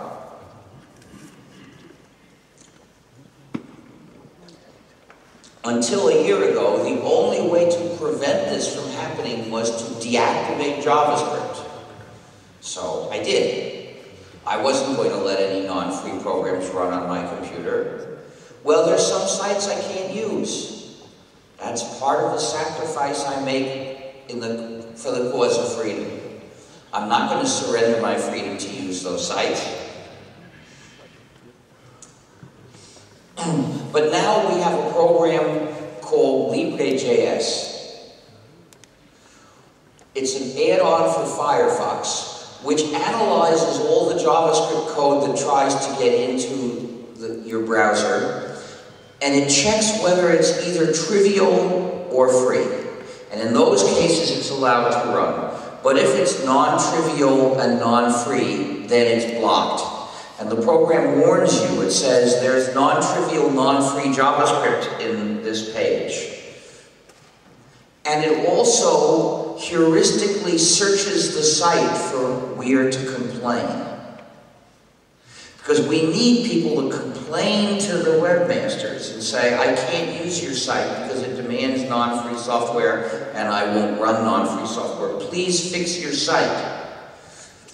But it's a lot of work to complain because you have to search for how to do it.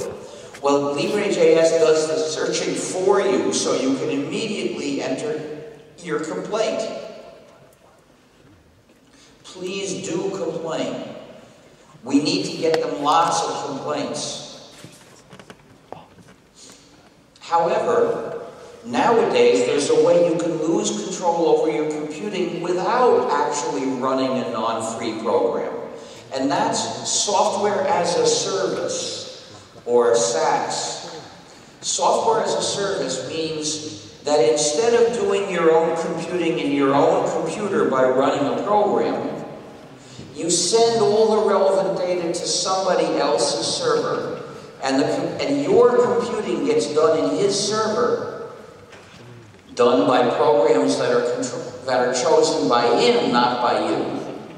He may or may not actually control them. They might be non-free, he doesn't control them either. But it actually doesn't matter to you whether those programs are free. Because if they are free, that means he controls them, but you still don't. And then when it's done, it sends the results back to you, or else it takes action for you with others. But either way, you have lost control of your computing. And the only way to avoid that is reject SaaS. Don't let your own computing be done in somebody else's server by software controlled by, chosen by him. So SaaS is inherently equivalent to running a non-free program, but it's actually even worse. Remember how I explained that some, many non-free programs spy on the user? They send data to some server, well, with SaaS, the user has to send all the pertinent data to a server.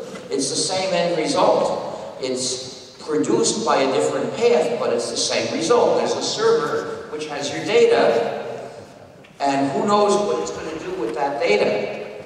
Well, if it's in the US, we know one thing. It'll hand over that data to Big Brother without even a court order because the US has a law that tramples human rights in this way. They call it the Patriot Act. I call it the Pat Riot Act. Because in a country founded on the idea of freedom, there is nothing less patriotic than this. Except perhaps flying death squads. Oh, we have those too. Well, there's another bad thing. Remember, I explained how some proprietary programs have universal backdoors that allow remote imposition of software changes. These include Microsoft Windows, Google Chrome, which is a non-free browser, and most portable, nearly all portable phones. Well, that means somebody can change how the user's computing gets done without asking the user's permission. With SaaS, it's the same, because the computing gets done by the programs installed in the server. And the server owner, of course, can put in different programs and change how the user's computing gets done without asking permission. So SaaS is inherently equivalent to using a proprietary program with spy features and a universal backdoor. Very bad. And just as you must reject proprietary software for freedom's sake, you must reject SaaS for freedom's sake. Now, if you look at all the world's web websites, SaaS is a rare case. And the reason is almost all of these sites just present information for you.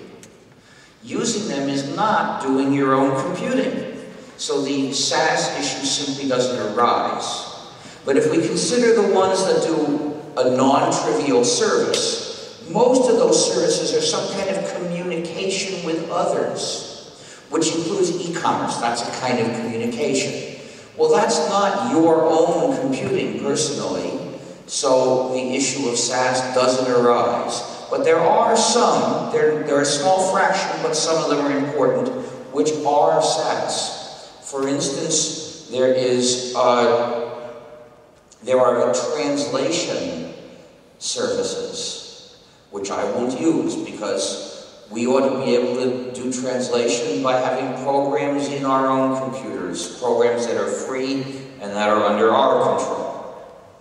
Getting the translation of a text, if that's what you want to do, is your own computing. It doesn't involve anybody else. It's not anybody else's, it's entirely your computing, and that's where you should have control. So, my last point is about free software and education. All educational activities, including schools from kindergarten to the university, must teach exclusively free software. And there are several reasons for this. It's not just a matter of saving money. That's a secondary benefit that often is possible, but that's not what's really important. This is not a question of how to do education a little better or a little more efficiently. This is a question of how to do good ethical education rather than bad education. Why is it that some companies will donate gratis copies of their non-free software to schools. It's because they want to use the school as an instrument to impose dependence on society. So they deliver these gratis copies, the school teaches the students to use them, and the students become dependent on that program. And then they graduate and they're still dependent. And the same company, the same developer, will not offer those ex-students gratis copies. Oh no. And some of those students go to work for companies. The developer does not offer those companies gratis copies. Oh no. Because the whole point is that the school directs the students down the path of dependence, and those students pull the rest of society with them into dependence. It's just like what drug traffickers do when they say, uh, try this, the first dose is gratis. They want people to become dependent. Well, the school would refuse to hand out these drugs, and it should refuse the proprietary software as well, whether it's gratis or not, because the school has a social mission, which is to educate good citizens of a strong, capable, cooperating, independent, and free society. In the computing field, this means graduating skilled users of free software who are ready to participate in a free digital society but it means never teaching a proprietary program because implanting dependence goes against the social mission of the school. But there's a deeper reason for the education of the best programmers. Some people are natural born programmers. They have a natural talent and at typically the age of 10 to 13, they become fascinated with programming. And if they use a program, they want to know, how does it do this? But when they ask the teacher, how does it do this? If it's proprietary, the teacher can always say, I'm sorry, it's a secret, we can't find out. Every program embodies knowledge. If it's proprietary, that knowledge is withheld from the student. A proprietary program is the enemy of the spirit of education and therefore must never be tolerated in a school. Schools must demonstrate that they uphold the spirit of education by saying, no proprietary software here. But if the program is free, the teacher can explain whatever he knows and then It's really unclear, so don't write code that way. That's an example of how not to write it. Now that's what these people need, to develop from natural born programmers into good programmers, they need to learn all the things that you shouldn't do because they won't be clear. How do you learn to write good, clear code? You do it by reading lots of code and writing lots of code. Well, only free software gives people the chance to read the code of large programs we really use. Then you have to write lots of code. You have to learn to write code for large programs. You have to write code for large programs. But in doing this, you have to start small. How do you start small in writing code for large programs? You do it by writing small changes in existing large programs. Only free software gives you the chance to write changes in existing large programs that we really use. Any school can give students the opportunity to master the skill of programming, but only if it's a free software school. But there's an even deeper reason for moral education, education in citizenship. Schools must go beyond teaching facts and skills. They must teach the spirit of goodwill and the habit of helping others. Therefore, every class should have this rule. Students, if you bring software to class, you may not keep it for yourself. You must share copies with the rest of the class, including the source code in case someone here wants to learn, because this class is a place for sharing our knowledge. Therefore, bringing proprietary software to class is not permitted. But in order to set a good example, the school has to follow its own rule. It must bring only free software to class and share copies, including source code, with everyone in the class. If you have a relationship with a school, if you're a student, a teacher, an employee, a parent, it's your responsibility to campaign for that school to move to free software. Now, it's important to bring up the issue publicly to, so that others have a chance to learn to understand it. Discussing it privately with the school authorities can be useful sometimes, but don't stick to that for too long if it doesn't work. Start bringing it up in public. The willingness to make a sacrifice is crucial. If you say in the first meeting of a class, Professor, please let's work out a way that I can do the work of this class using free software only because my conscience does not allow me to run the proprietary software. And I'm willing to do it with free software even if it takes me extra work. It's hard for a professor to say no to a student who wants to do extra work for the sake of her conscience. But some of them will. And in that case, you have to say, well, goodbye. I will try again next year and hope that, there, that I get a different answer. Sometimes you should change schools. If there's a school that requires using a lot of proprietary software, changing schools may be what you need to do. A protest may be called for. If a school does something that promotes proprietary software, a protest is appropriate. You'll have to be creative looking for different approaches till you find something that works. The important thing is be persistent.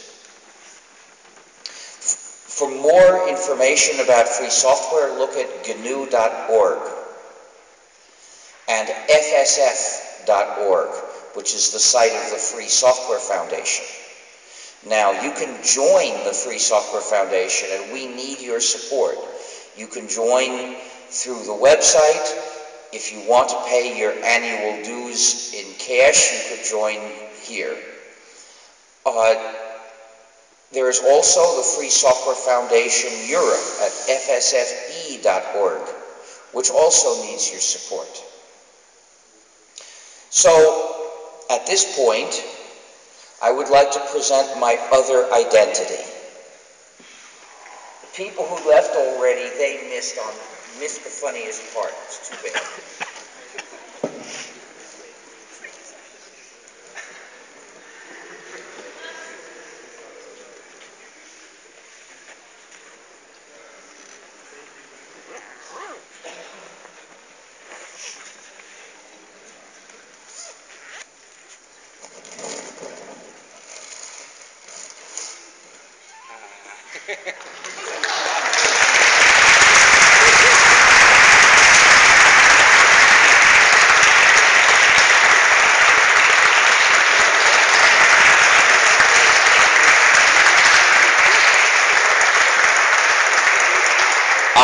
am Saint IGNUcius of the Church of Emacs.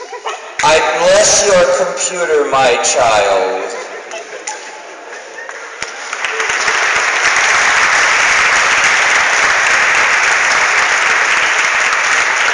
Emacs started out as an extensible text editor that I wrote, which became a way of life for many users, as over the years it was extended so much that they could do all their computing without ever leaving Emacs. And then it became a church with the launch of the news group alt.religion.emacs, which you might find amusing to visit. In the Church of Emacs today, we have no services, only software. We have a great schism between several rival versions of Emacs. And we also have saints, but fortunately no gods. Instead of gods, we adore the one true editor, Emacs. To become a member of the Church of Emacs, you must pronounce the confession of the faith. You must say, there is no system but GNU, and Linux is one of its kernels.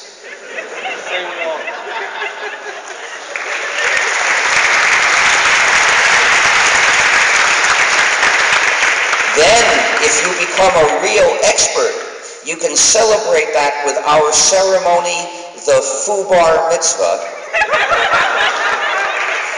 in which you chant a portion of our sacred scriptures, that is to say, the system source code.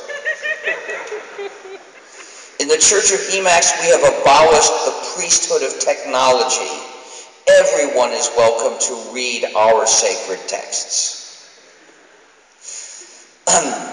we also have the cult of the Virgin of Emacs which refers to anyone who has never used Emacs. And according to the Church of Emacs, offering the opportunity to lose Emacs virginity is a blessed act. We also have the Emacs pilgrimage, which consists of invoking all the commands of Emacs in alphabetical order. There is a Tibetan sect which holds that it's sufficient to invoke them automatically under the control of the script. However, the mainstream church believes that to get spiritual merit from the pilgrimage, you must type them all by hand. The Church of Emacs has certain advantages compared with other churches that I won't name. For instance, to be a saint in the Church of Emacs does not require celibacy. But it does require living a life of moral purity. You must exorcise whatever evil proprietary systems have possessed computers under your control. And then install a wholly free operating system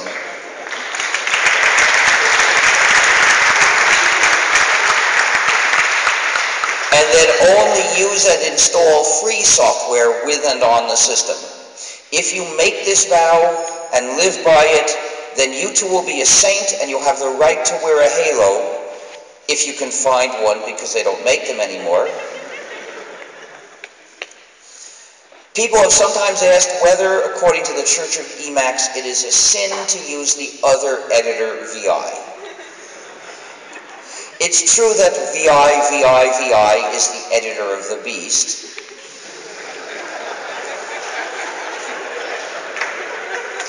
But using a free implementation of VI is not a sin, it's a penance.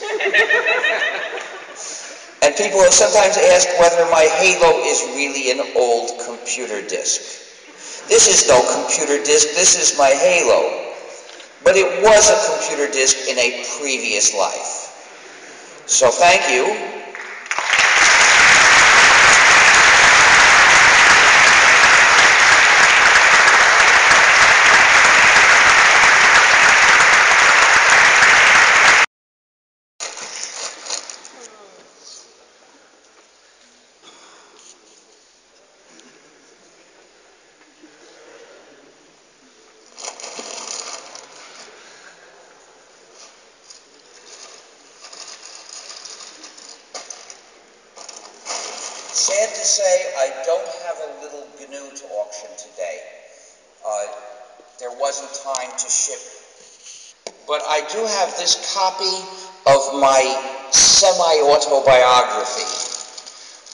It's a semi-autobiography because someone else wrote it and put in his point of view, and then I fixed the errors and put in my point of view, but I left his personal impressions. So it now presents these two points of view in contrast.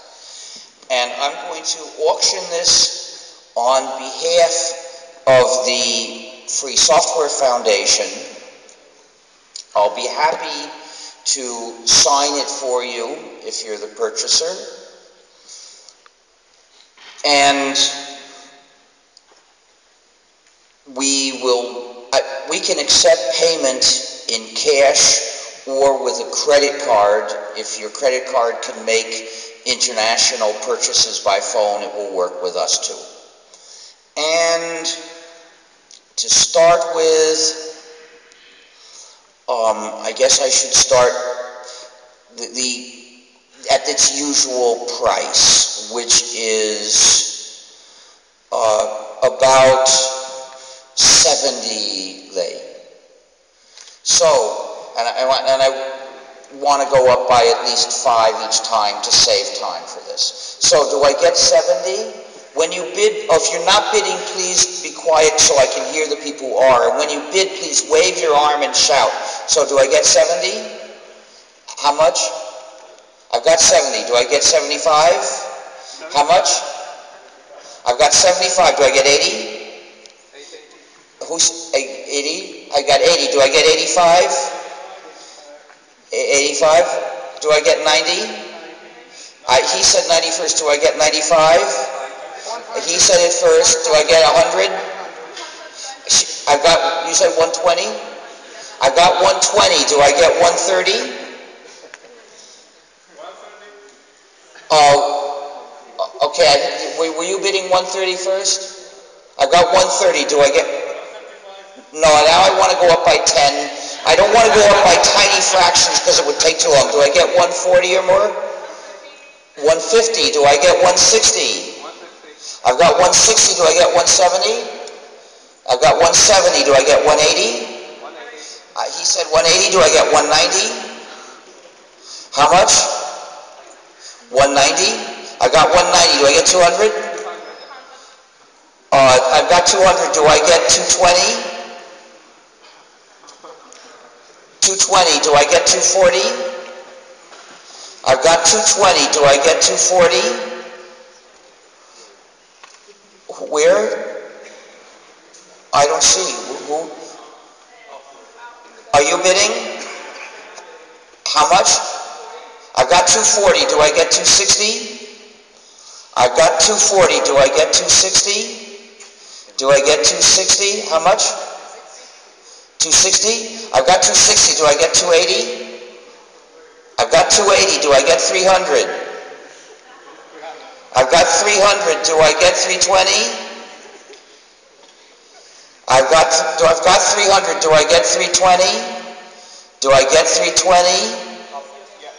How much? I, how much? I've got 320. Do I get 340?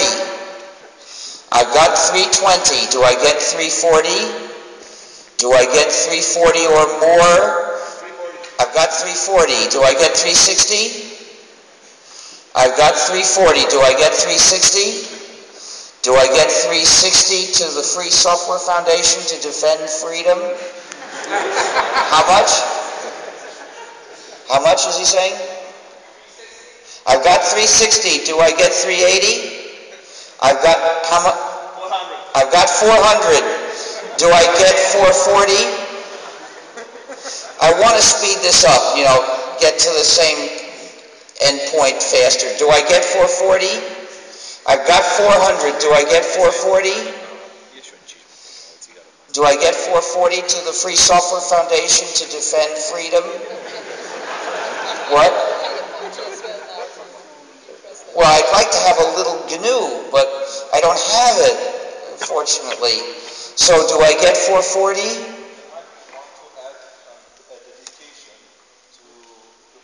Well, of course I'm going to sign it for the purchaser. What's the difference? Well, oh, yeah, of course. I'll, I will dedicate it to you if you're the purchaser. So I've got 400. Do I get 440? Last chance to bid 440 or more. Last chance. Going. Going. Gone for 400. So, please come up and, and pay for it.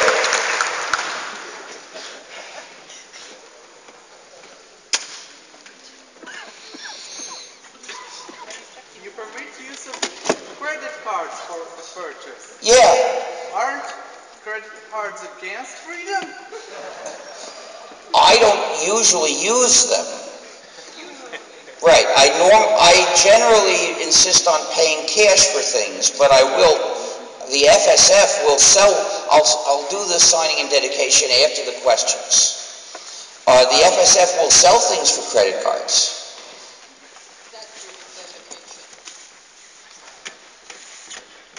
Uh, oh, please make a note that copying does not imply plagiarism. Plagiarism is a form of lying.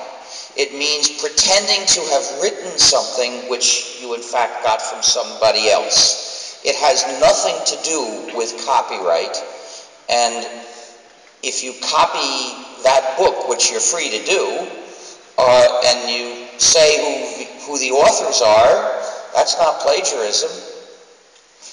Uh, so anyway, we can accept uh, questions on paper, which is actually easiest for me, but also we can have people come to a queue at the front of the room and ask questions. Uh, please come, please, we need a microphone here, and please stand up and come to the front where the microphone will be. Yeah, come up, but come to the front where the microphone is and ask your question, because it takes a long time to transport the microphone around the room, and this is a much better system. But even with the microphone, you need to speak loud and clearly, because I have some hearing problems. If you speak fast, right now. Yeah, you, Would you say uh, copyright actually encourages plagiarism? I have no idea and I don't care. I to use that as another argument I have no reason, I have no reason to believe copyright encourages plagiarism. Copyright raises other ethical issues. My views on copyright are not simple. First of all, there are some works that are designed to be used to do practical jobs. Those works must be free.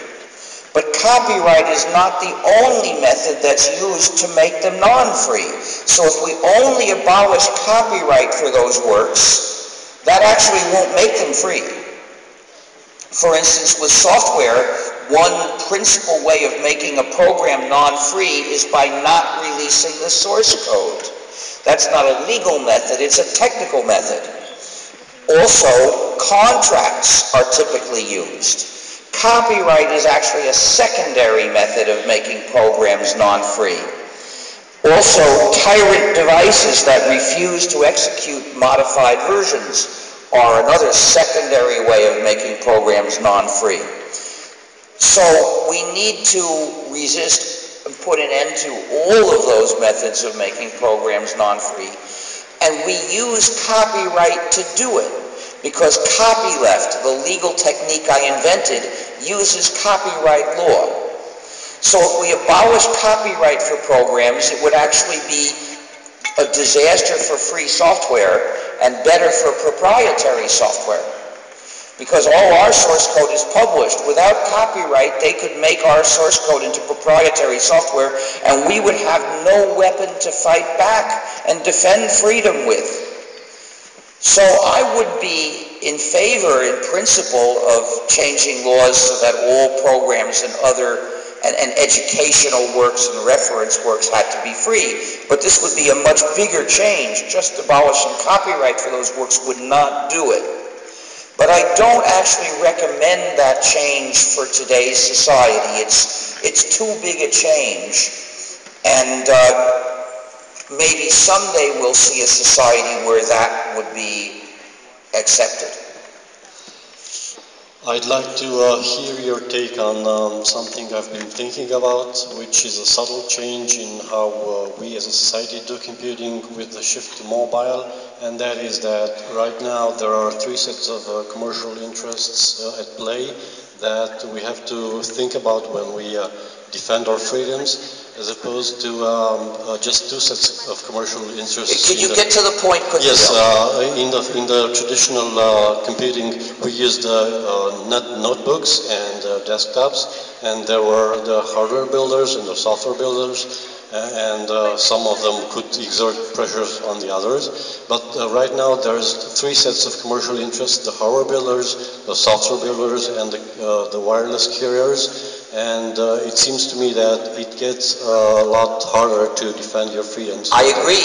In fact, right now there is no uh, mobile phone being made, and I don't know of any tablet being made which you can run without some non-free software. And in the case of the mobile phones, the non-free software is where the back door is. So how to do something about that? Well, we're looking at what kind of initiative we can start to try to change this. It's, it's tremendously complicated because even the hardware is not really made by one company. Uh, there are several layers of companies, and the ones that make the products that people can buy don't even have control over this. So it's a horrible situation. I wouldn't use any of those. Next question. Oh, and there's another issue raised by them, which is that they tend to be designed to push people into software as a service and into storing their data in some company's server, and of course you can't trust that company with your privacy. Uh, hello. I would like to ask you, what can we do about uh, large computing tasks that require massive amounts of hardware resources, much, much more than a user has available in his personal PC? Well, most people don't do these things. For example, search on the internet. Oh, but you see, search is a different kind of issue. If you're looking at a search engine that's not your own computing. That's looking at somebody else's data. So I don't see any fundamental problem with search engines as they are now. Now, it's very important that the search engine not know who you are because they, they do surveillance. Okay, but uh, search, uh, search engines are kind of uh, service software as a service. No, they're not software as a service, not as I use the term. Because software as a service means that it's doing your computing on your data. Now, if you want to look through somebody else's data, that's not the same kind of thing. Uh, okay, so you're in favor of Google's search engine. I don't see anything fundamentally wrong with Google's search engine. Now, there are some specific things that it does that are bad, but just being a search engine like that isn't bad. The problems with Google's search engine are they keep track of people and they which is already bad and they send different results depending on who you are which is a, also a problem and finally, it sends non-free JavaScript code to the user's browser, so it's trying to get people to run non-free software. However, it'll still work if you disable JavaScript and don't run that, that non-free program. Uh, one last question related. Uh, what search engine are you currently using? Well, I don't, I don't do searches very often because it takes a long time, and usually I ask somebody else to do them for me.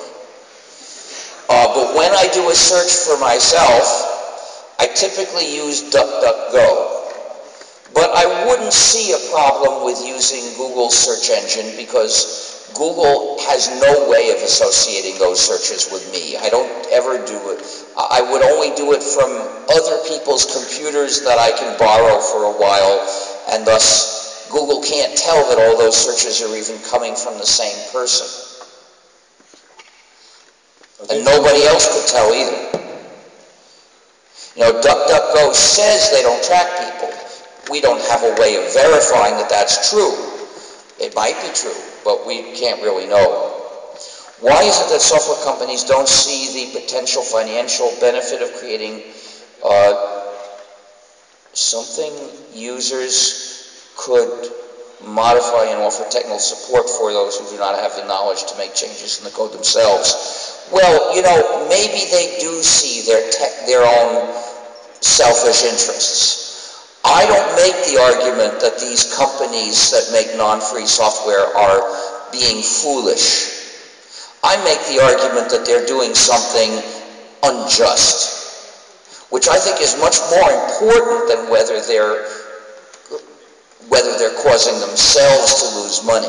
Because fundamentally, it's not our ethical concern whether they get money or not. We, I have a much more important criticism to make rather than just saying they might make less money because they're being nasty to us. And since emperor, since empires often are profitable to the emperor, maybe they are profiting from their power over us, but that doesn't excuse it.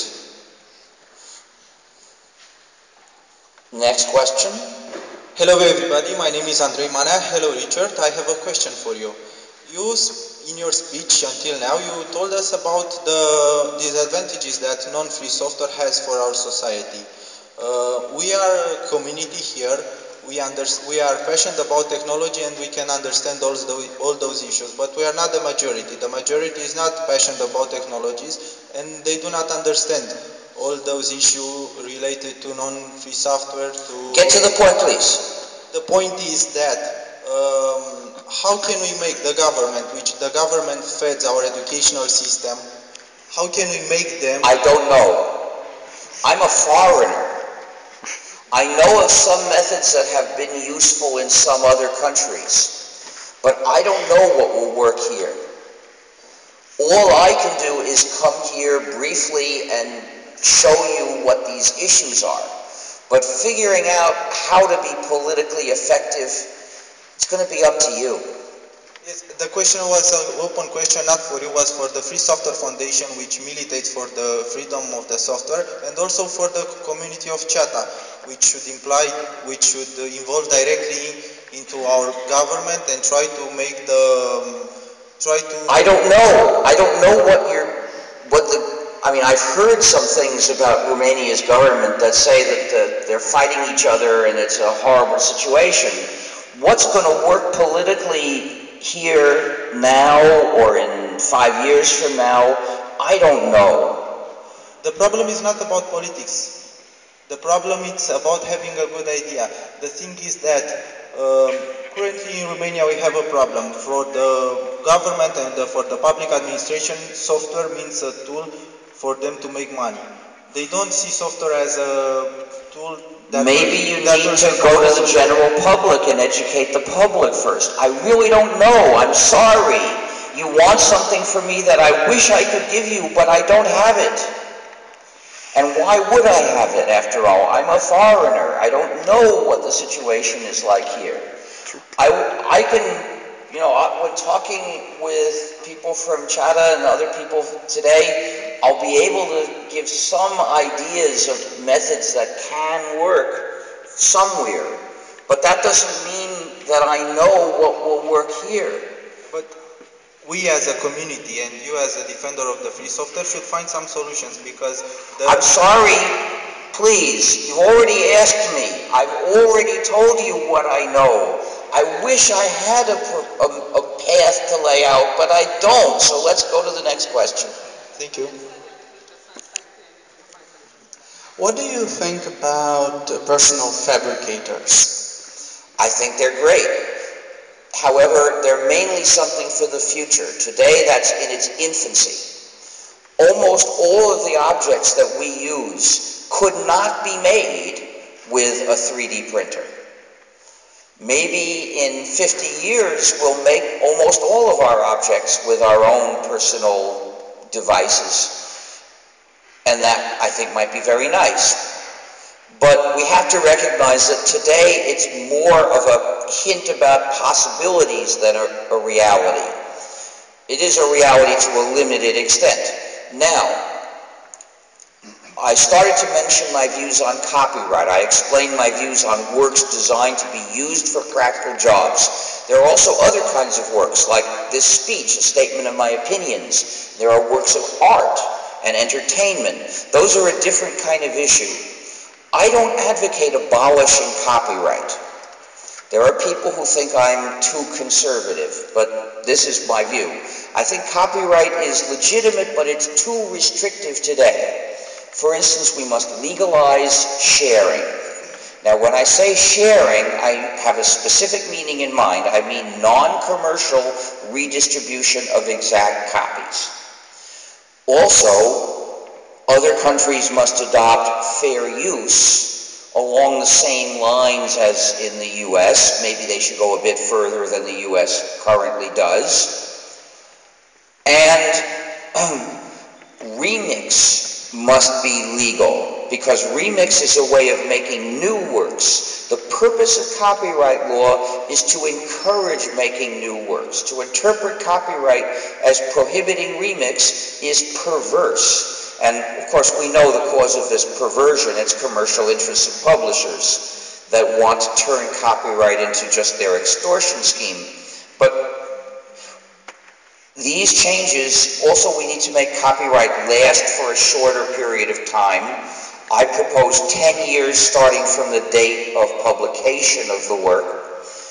And we need to ban the other practices that deny the users the rights that copyright law lets them have. For instance, we have to ban the end user license agreements. We have to ban digital handcuffs that would deny people their rights under copyright law. Copyright law as modified with these changes. So, now I can respond to your question because when we when you make objects with personal fabricators, there are files that you use that specify what the object should be. Well, some of these objects are made for functional use. Some of them are purely decorative. So we now have two kinds of work here. We have the, the file that controls the object can be a work of practical use if it makes a utilitarian object, and it's a, a, an artistic work if it makes a decorative object. And I believe that those files should be should follow the general points about copyright law that I just said. So if it makes a decorative, if it makes a useful object, it should be free. The file should be free. If it makes a decorative object, well, people should be free to share it and remix and, and so on. Also another question, would you say uh, free as in freedom services would be impossible? It's not a meaningful question because these, the four freedoms that define free software, they make sense for any kind of work you can have a copy of because then you could copy it, you could change it, and the question is, should you be allowed to do so? And I've given you my answer on that, which is a complicated answer. But a service is not a thing you can have and copy. So these questions don't arise. There are other ethical issues that arise about services, like do they abuse your data? Do they surveil you and collect more data than you thought you were giving them? Do they take control of your computing? In other words, are they software as a service? These are different issues. There might be others as well. But it's a mistake to try to generalize the idea of free software to anything other than works you can have copies of. Because that's where they make sense. Next question. Hello. you might have touched on this a little bit, but I'm just going to ask it anyway. So if you're an author or an artist, it can be super rewarding, but you're often depending on a steady paycheck.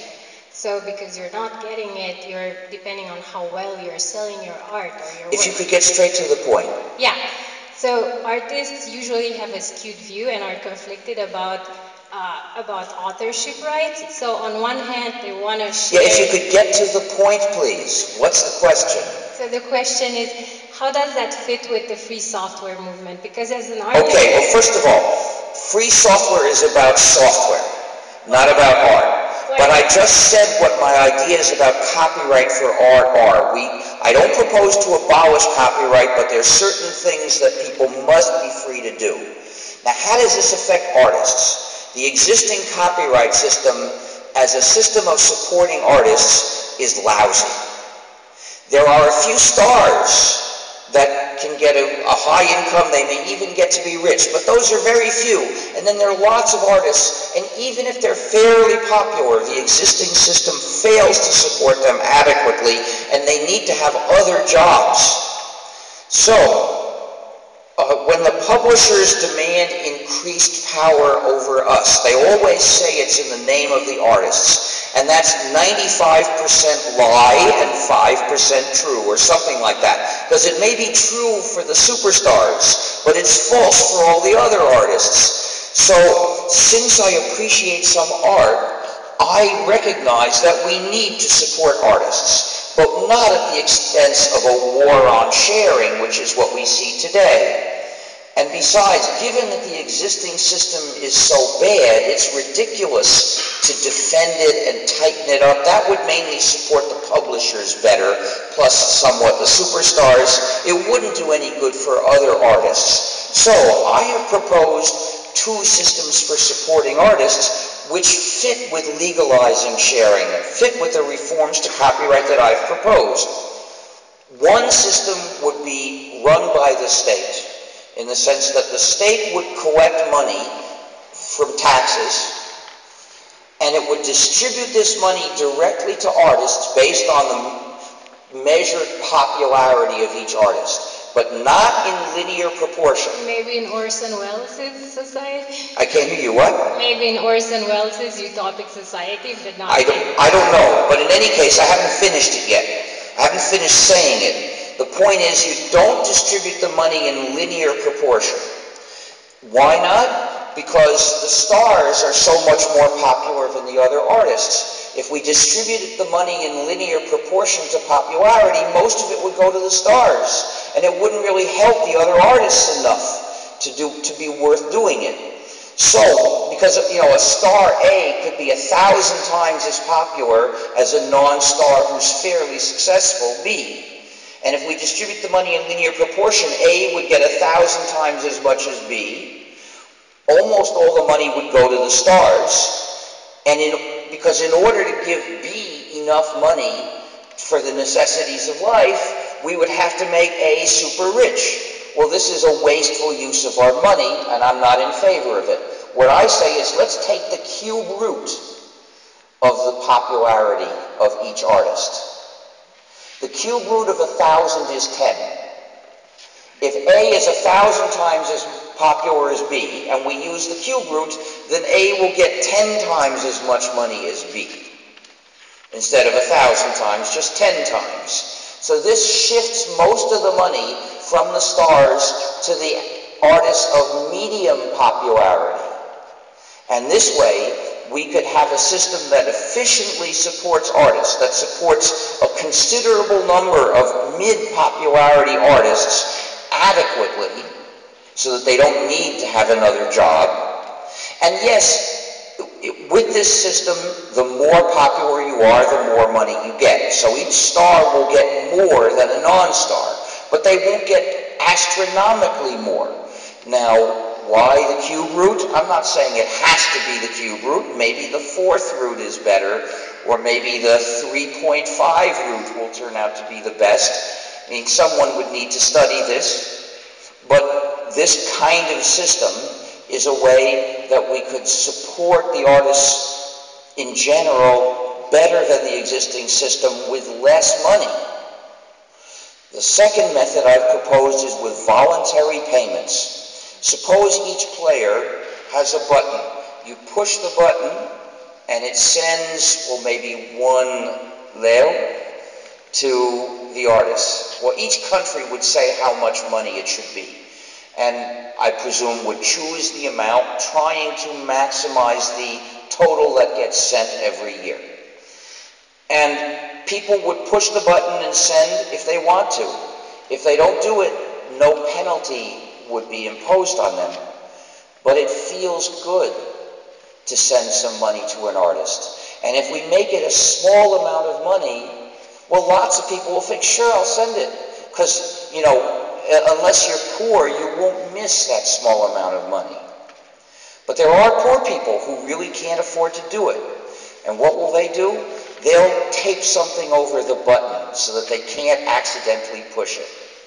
They'll never send money, and that's good because we don't want to get make poor people support artists. There are enough non-poor people who will be happy to support artists.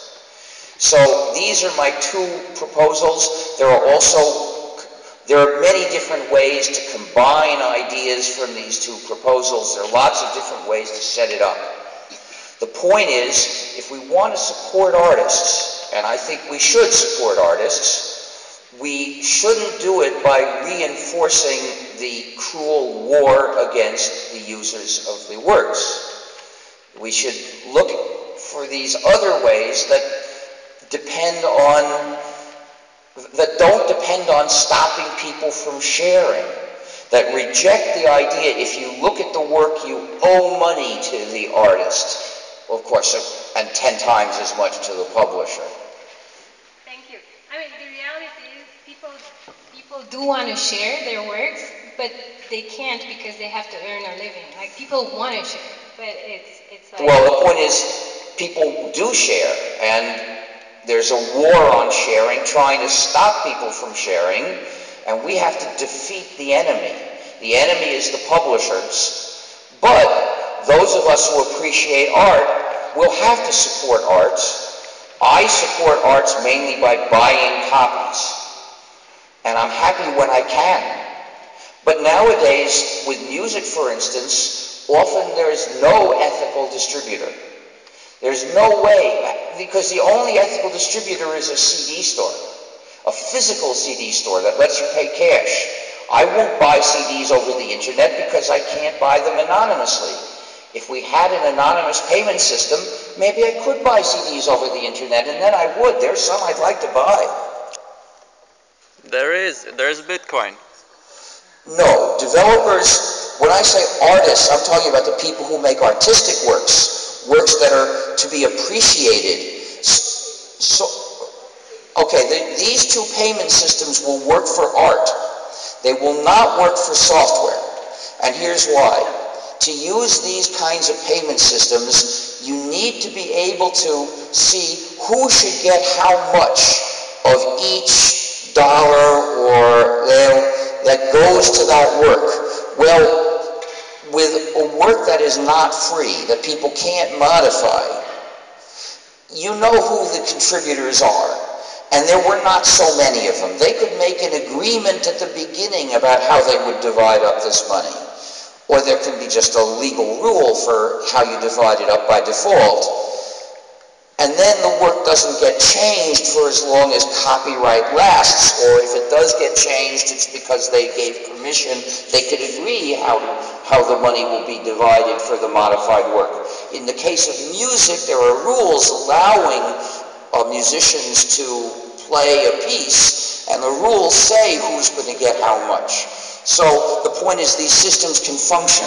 But when you look at works of practical use that are free, you will see that people are constantly contributing to them, constantly making modified versions. There can be thousands of contributors. And those, they didn't all decide at the beginning that they would contribute. No, they came along later. It's, as far as I can tell, completely impossible to come up with a scheme for how to distribute the money.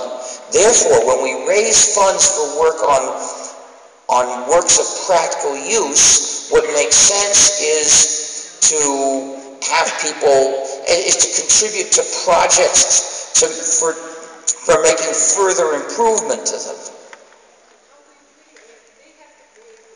No, no, no, they don't.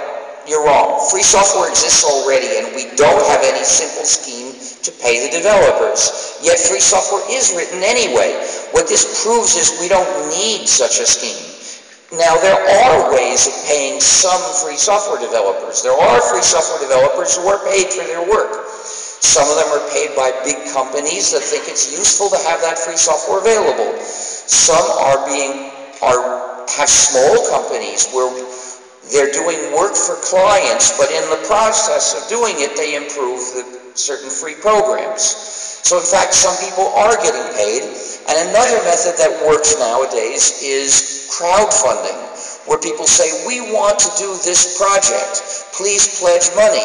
If we get this much money, we'll work on it. Well, it's starting to actually be effective. So in fact, there are some ways of paying people to write free software.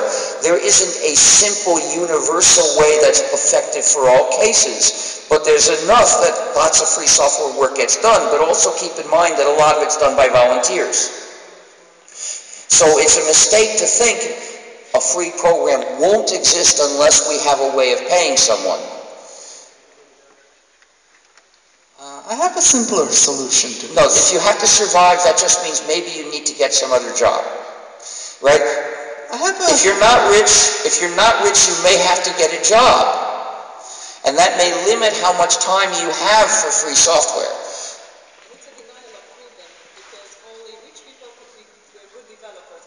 No, that's not true. I wasn't rich at all when I started working on GNU. I didn't know how I would make a living. I just decided I was going to do all I could. So you're exaggerating.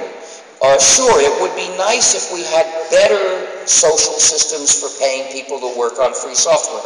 But it's an exaggeration to claim that without them we can't get anywhere. Because we got where we are. And where we are is a big advance over zero. I have a simpler solution to all this. It may be utopic, but why don't we completely abolish intellectual property in its entirety? As Sorry, copyright. It's a it's a makes it's a foolish thing to use the term quote intellectual property unquote because it talks about several Yes, well I'm not interested in looking for radical solutions that have no reason behind them except a confused term that some other people use. These laws have nothing in common, and yet you're treating them as if they were one issue. That's a recipe for careless thinking. Copyrights and patents have nothing to do with each other. Copyrights and trademarks have nothing to do with each other. I think trademark law is pretty good, actually. It may, there's some details that could use change, but for the most part, I think trademark law is a useful thing. I don't want to abolish it. Now, why did you get to that suggestion? It's because other people lumped together these unrelated laws, and so using the misleading term, quote, intellectual property, unquote, and that suggests that it makes sense to use that term in your thinking. But my position is it never makes sense to use that term. I reject that term. I never use it. Because these laws are too different. I, they have to be thought about separately. Yes, but information, be it uh, art or be it ideas or be it any kind of information, does not have scarcity. Since It doesn't matter. That has nothing to do with trademark law. more times Yes. for the same information. Right. This is a this is an argument that affects what we do with works, which is mainly re- ruled by copyright law. But trademark law is different. Trademark law is a way of having labels that say who made something. And that's a useful scheme which for the most part does good and not harm. So this is why the term, this is an example of how the term, quote, intellectual property, unquote, leads to harmful overgeneralization. You have an argument that relates to copyright law, and that argument is why I believe we have to legalize sharing, which is a change in copyright law. But it has nothing to do with trademarks. It has to do with patents Patent law is a different issue. Now, patents, patent law causes problems, three different kinds of problems in three different areas. It causes one problem in software, it causes a different problem in medicine, and it causes a different problem in agriculture. So, patent law does require some change, but patents on automobile engines, as far as I can tell, you know, they may not do any good, but they may not do any harm either. There's some reason, there's some economic research suggesting the world would be better off without patent law. Maybe that's true, but it's only those three areas where it causes an acute problem. But the crucial point here is these three laws are different issues, and there are several more laws. If you say, every time you say, quote, intellectual property, unquote, you're also talking about the law that says you can't call a wine Bordeaux unless your vineyard is in a certain region of France. Is that good or bad? I don't know, but it doesn't stop anybody from making and selling wine. It just says they can't call it Bordeaux. Well, you know, it's not going to do you any terrible injustice to, that you can't call your wine Bordeaux. So I don't see any big ethical issue there. And then there's another, in the U.S., this, in, in, some states in the U.S., there's a law uh, about that, that gives you power over the use of your image in anybody else's publicity. It seems to make sense to me. Uh, so the point is these laws are so different, it never makes sense to talk about all of them at once. So the term, quote, intellectual property, unquote, is pure confusion. We must object to this term. We must refuse to ever use it. So if Apple has a trademark on the name Apple, they can impose Apple um, agriculture farmers to No, no, they can't stop they can't stop people from selling apples. Yeah, one okay, one last question.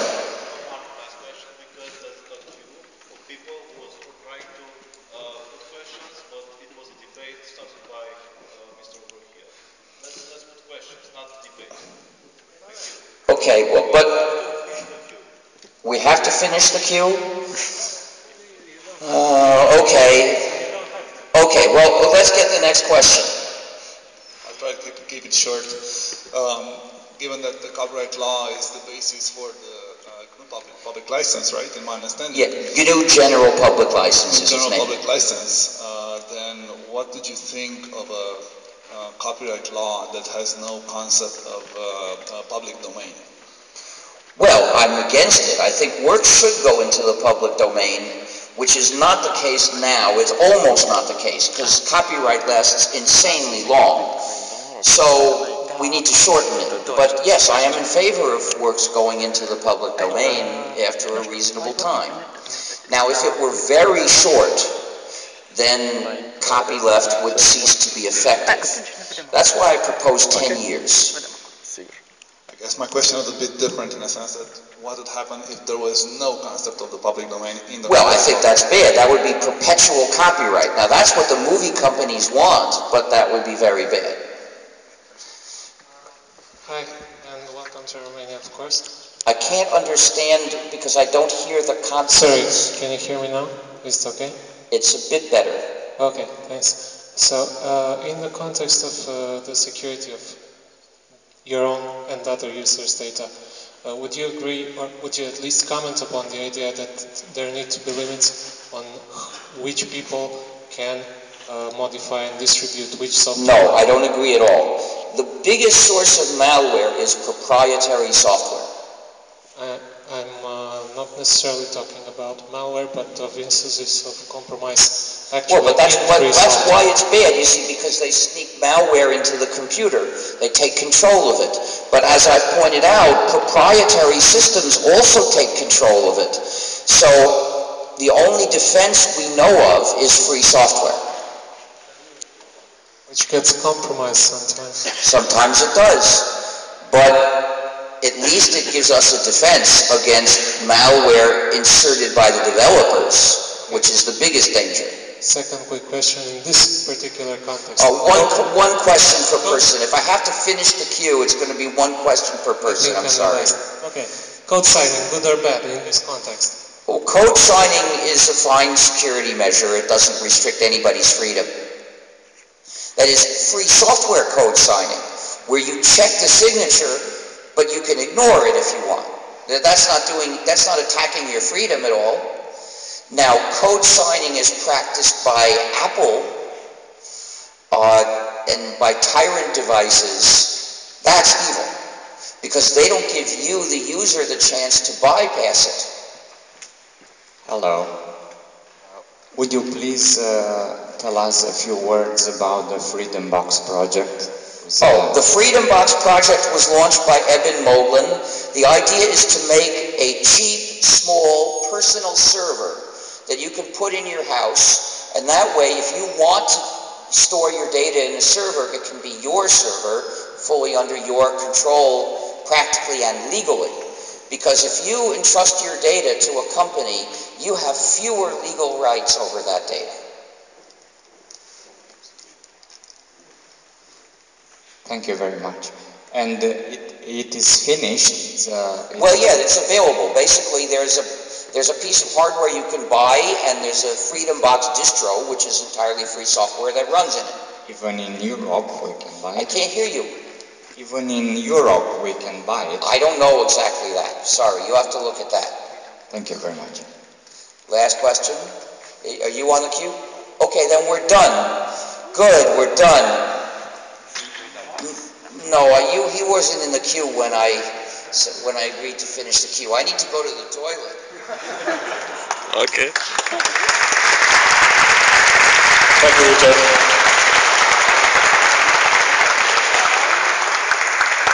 În încheiere, aș vrea să vă mulțumesc tuturor pentru participare. Sper să ne revedem la evenimente și poate chiar în comunitate. Nu neapărat în evenimente publice, poate și în evenimente din comunitatea noastră, CEATA. Dacă vreți să intrați în contact cu noi, e suficient să intrați la chata.org și veți vedea acolo listele noastre de discuții și canalul de IRC. Aș vrea să mulțumesc pentru găzduire Facultății de Științe Politice și Facultății de Drept. Îi mulțumesc Lucianei Mica și sper să avem colaborări Știu că avem un site, parcă? Site Nicu Îi mulțumesc și lui Richard, care acum mai e Nicu, ia așteaptă pe de aici pe site. La revedere! Dar o să fie pe site. Le găsim, dacă e să caut ceva referință, poți să găsiți pe site la tine. Da? Ok. Contextul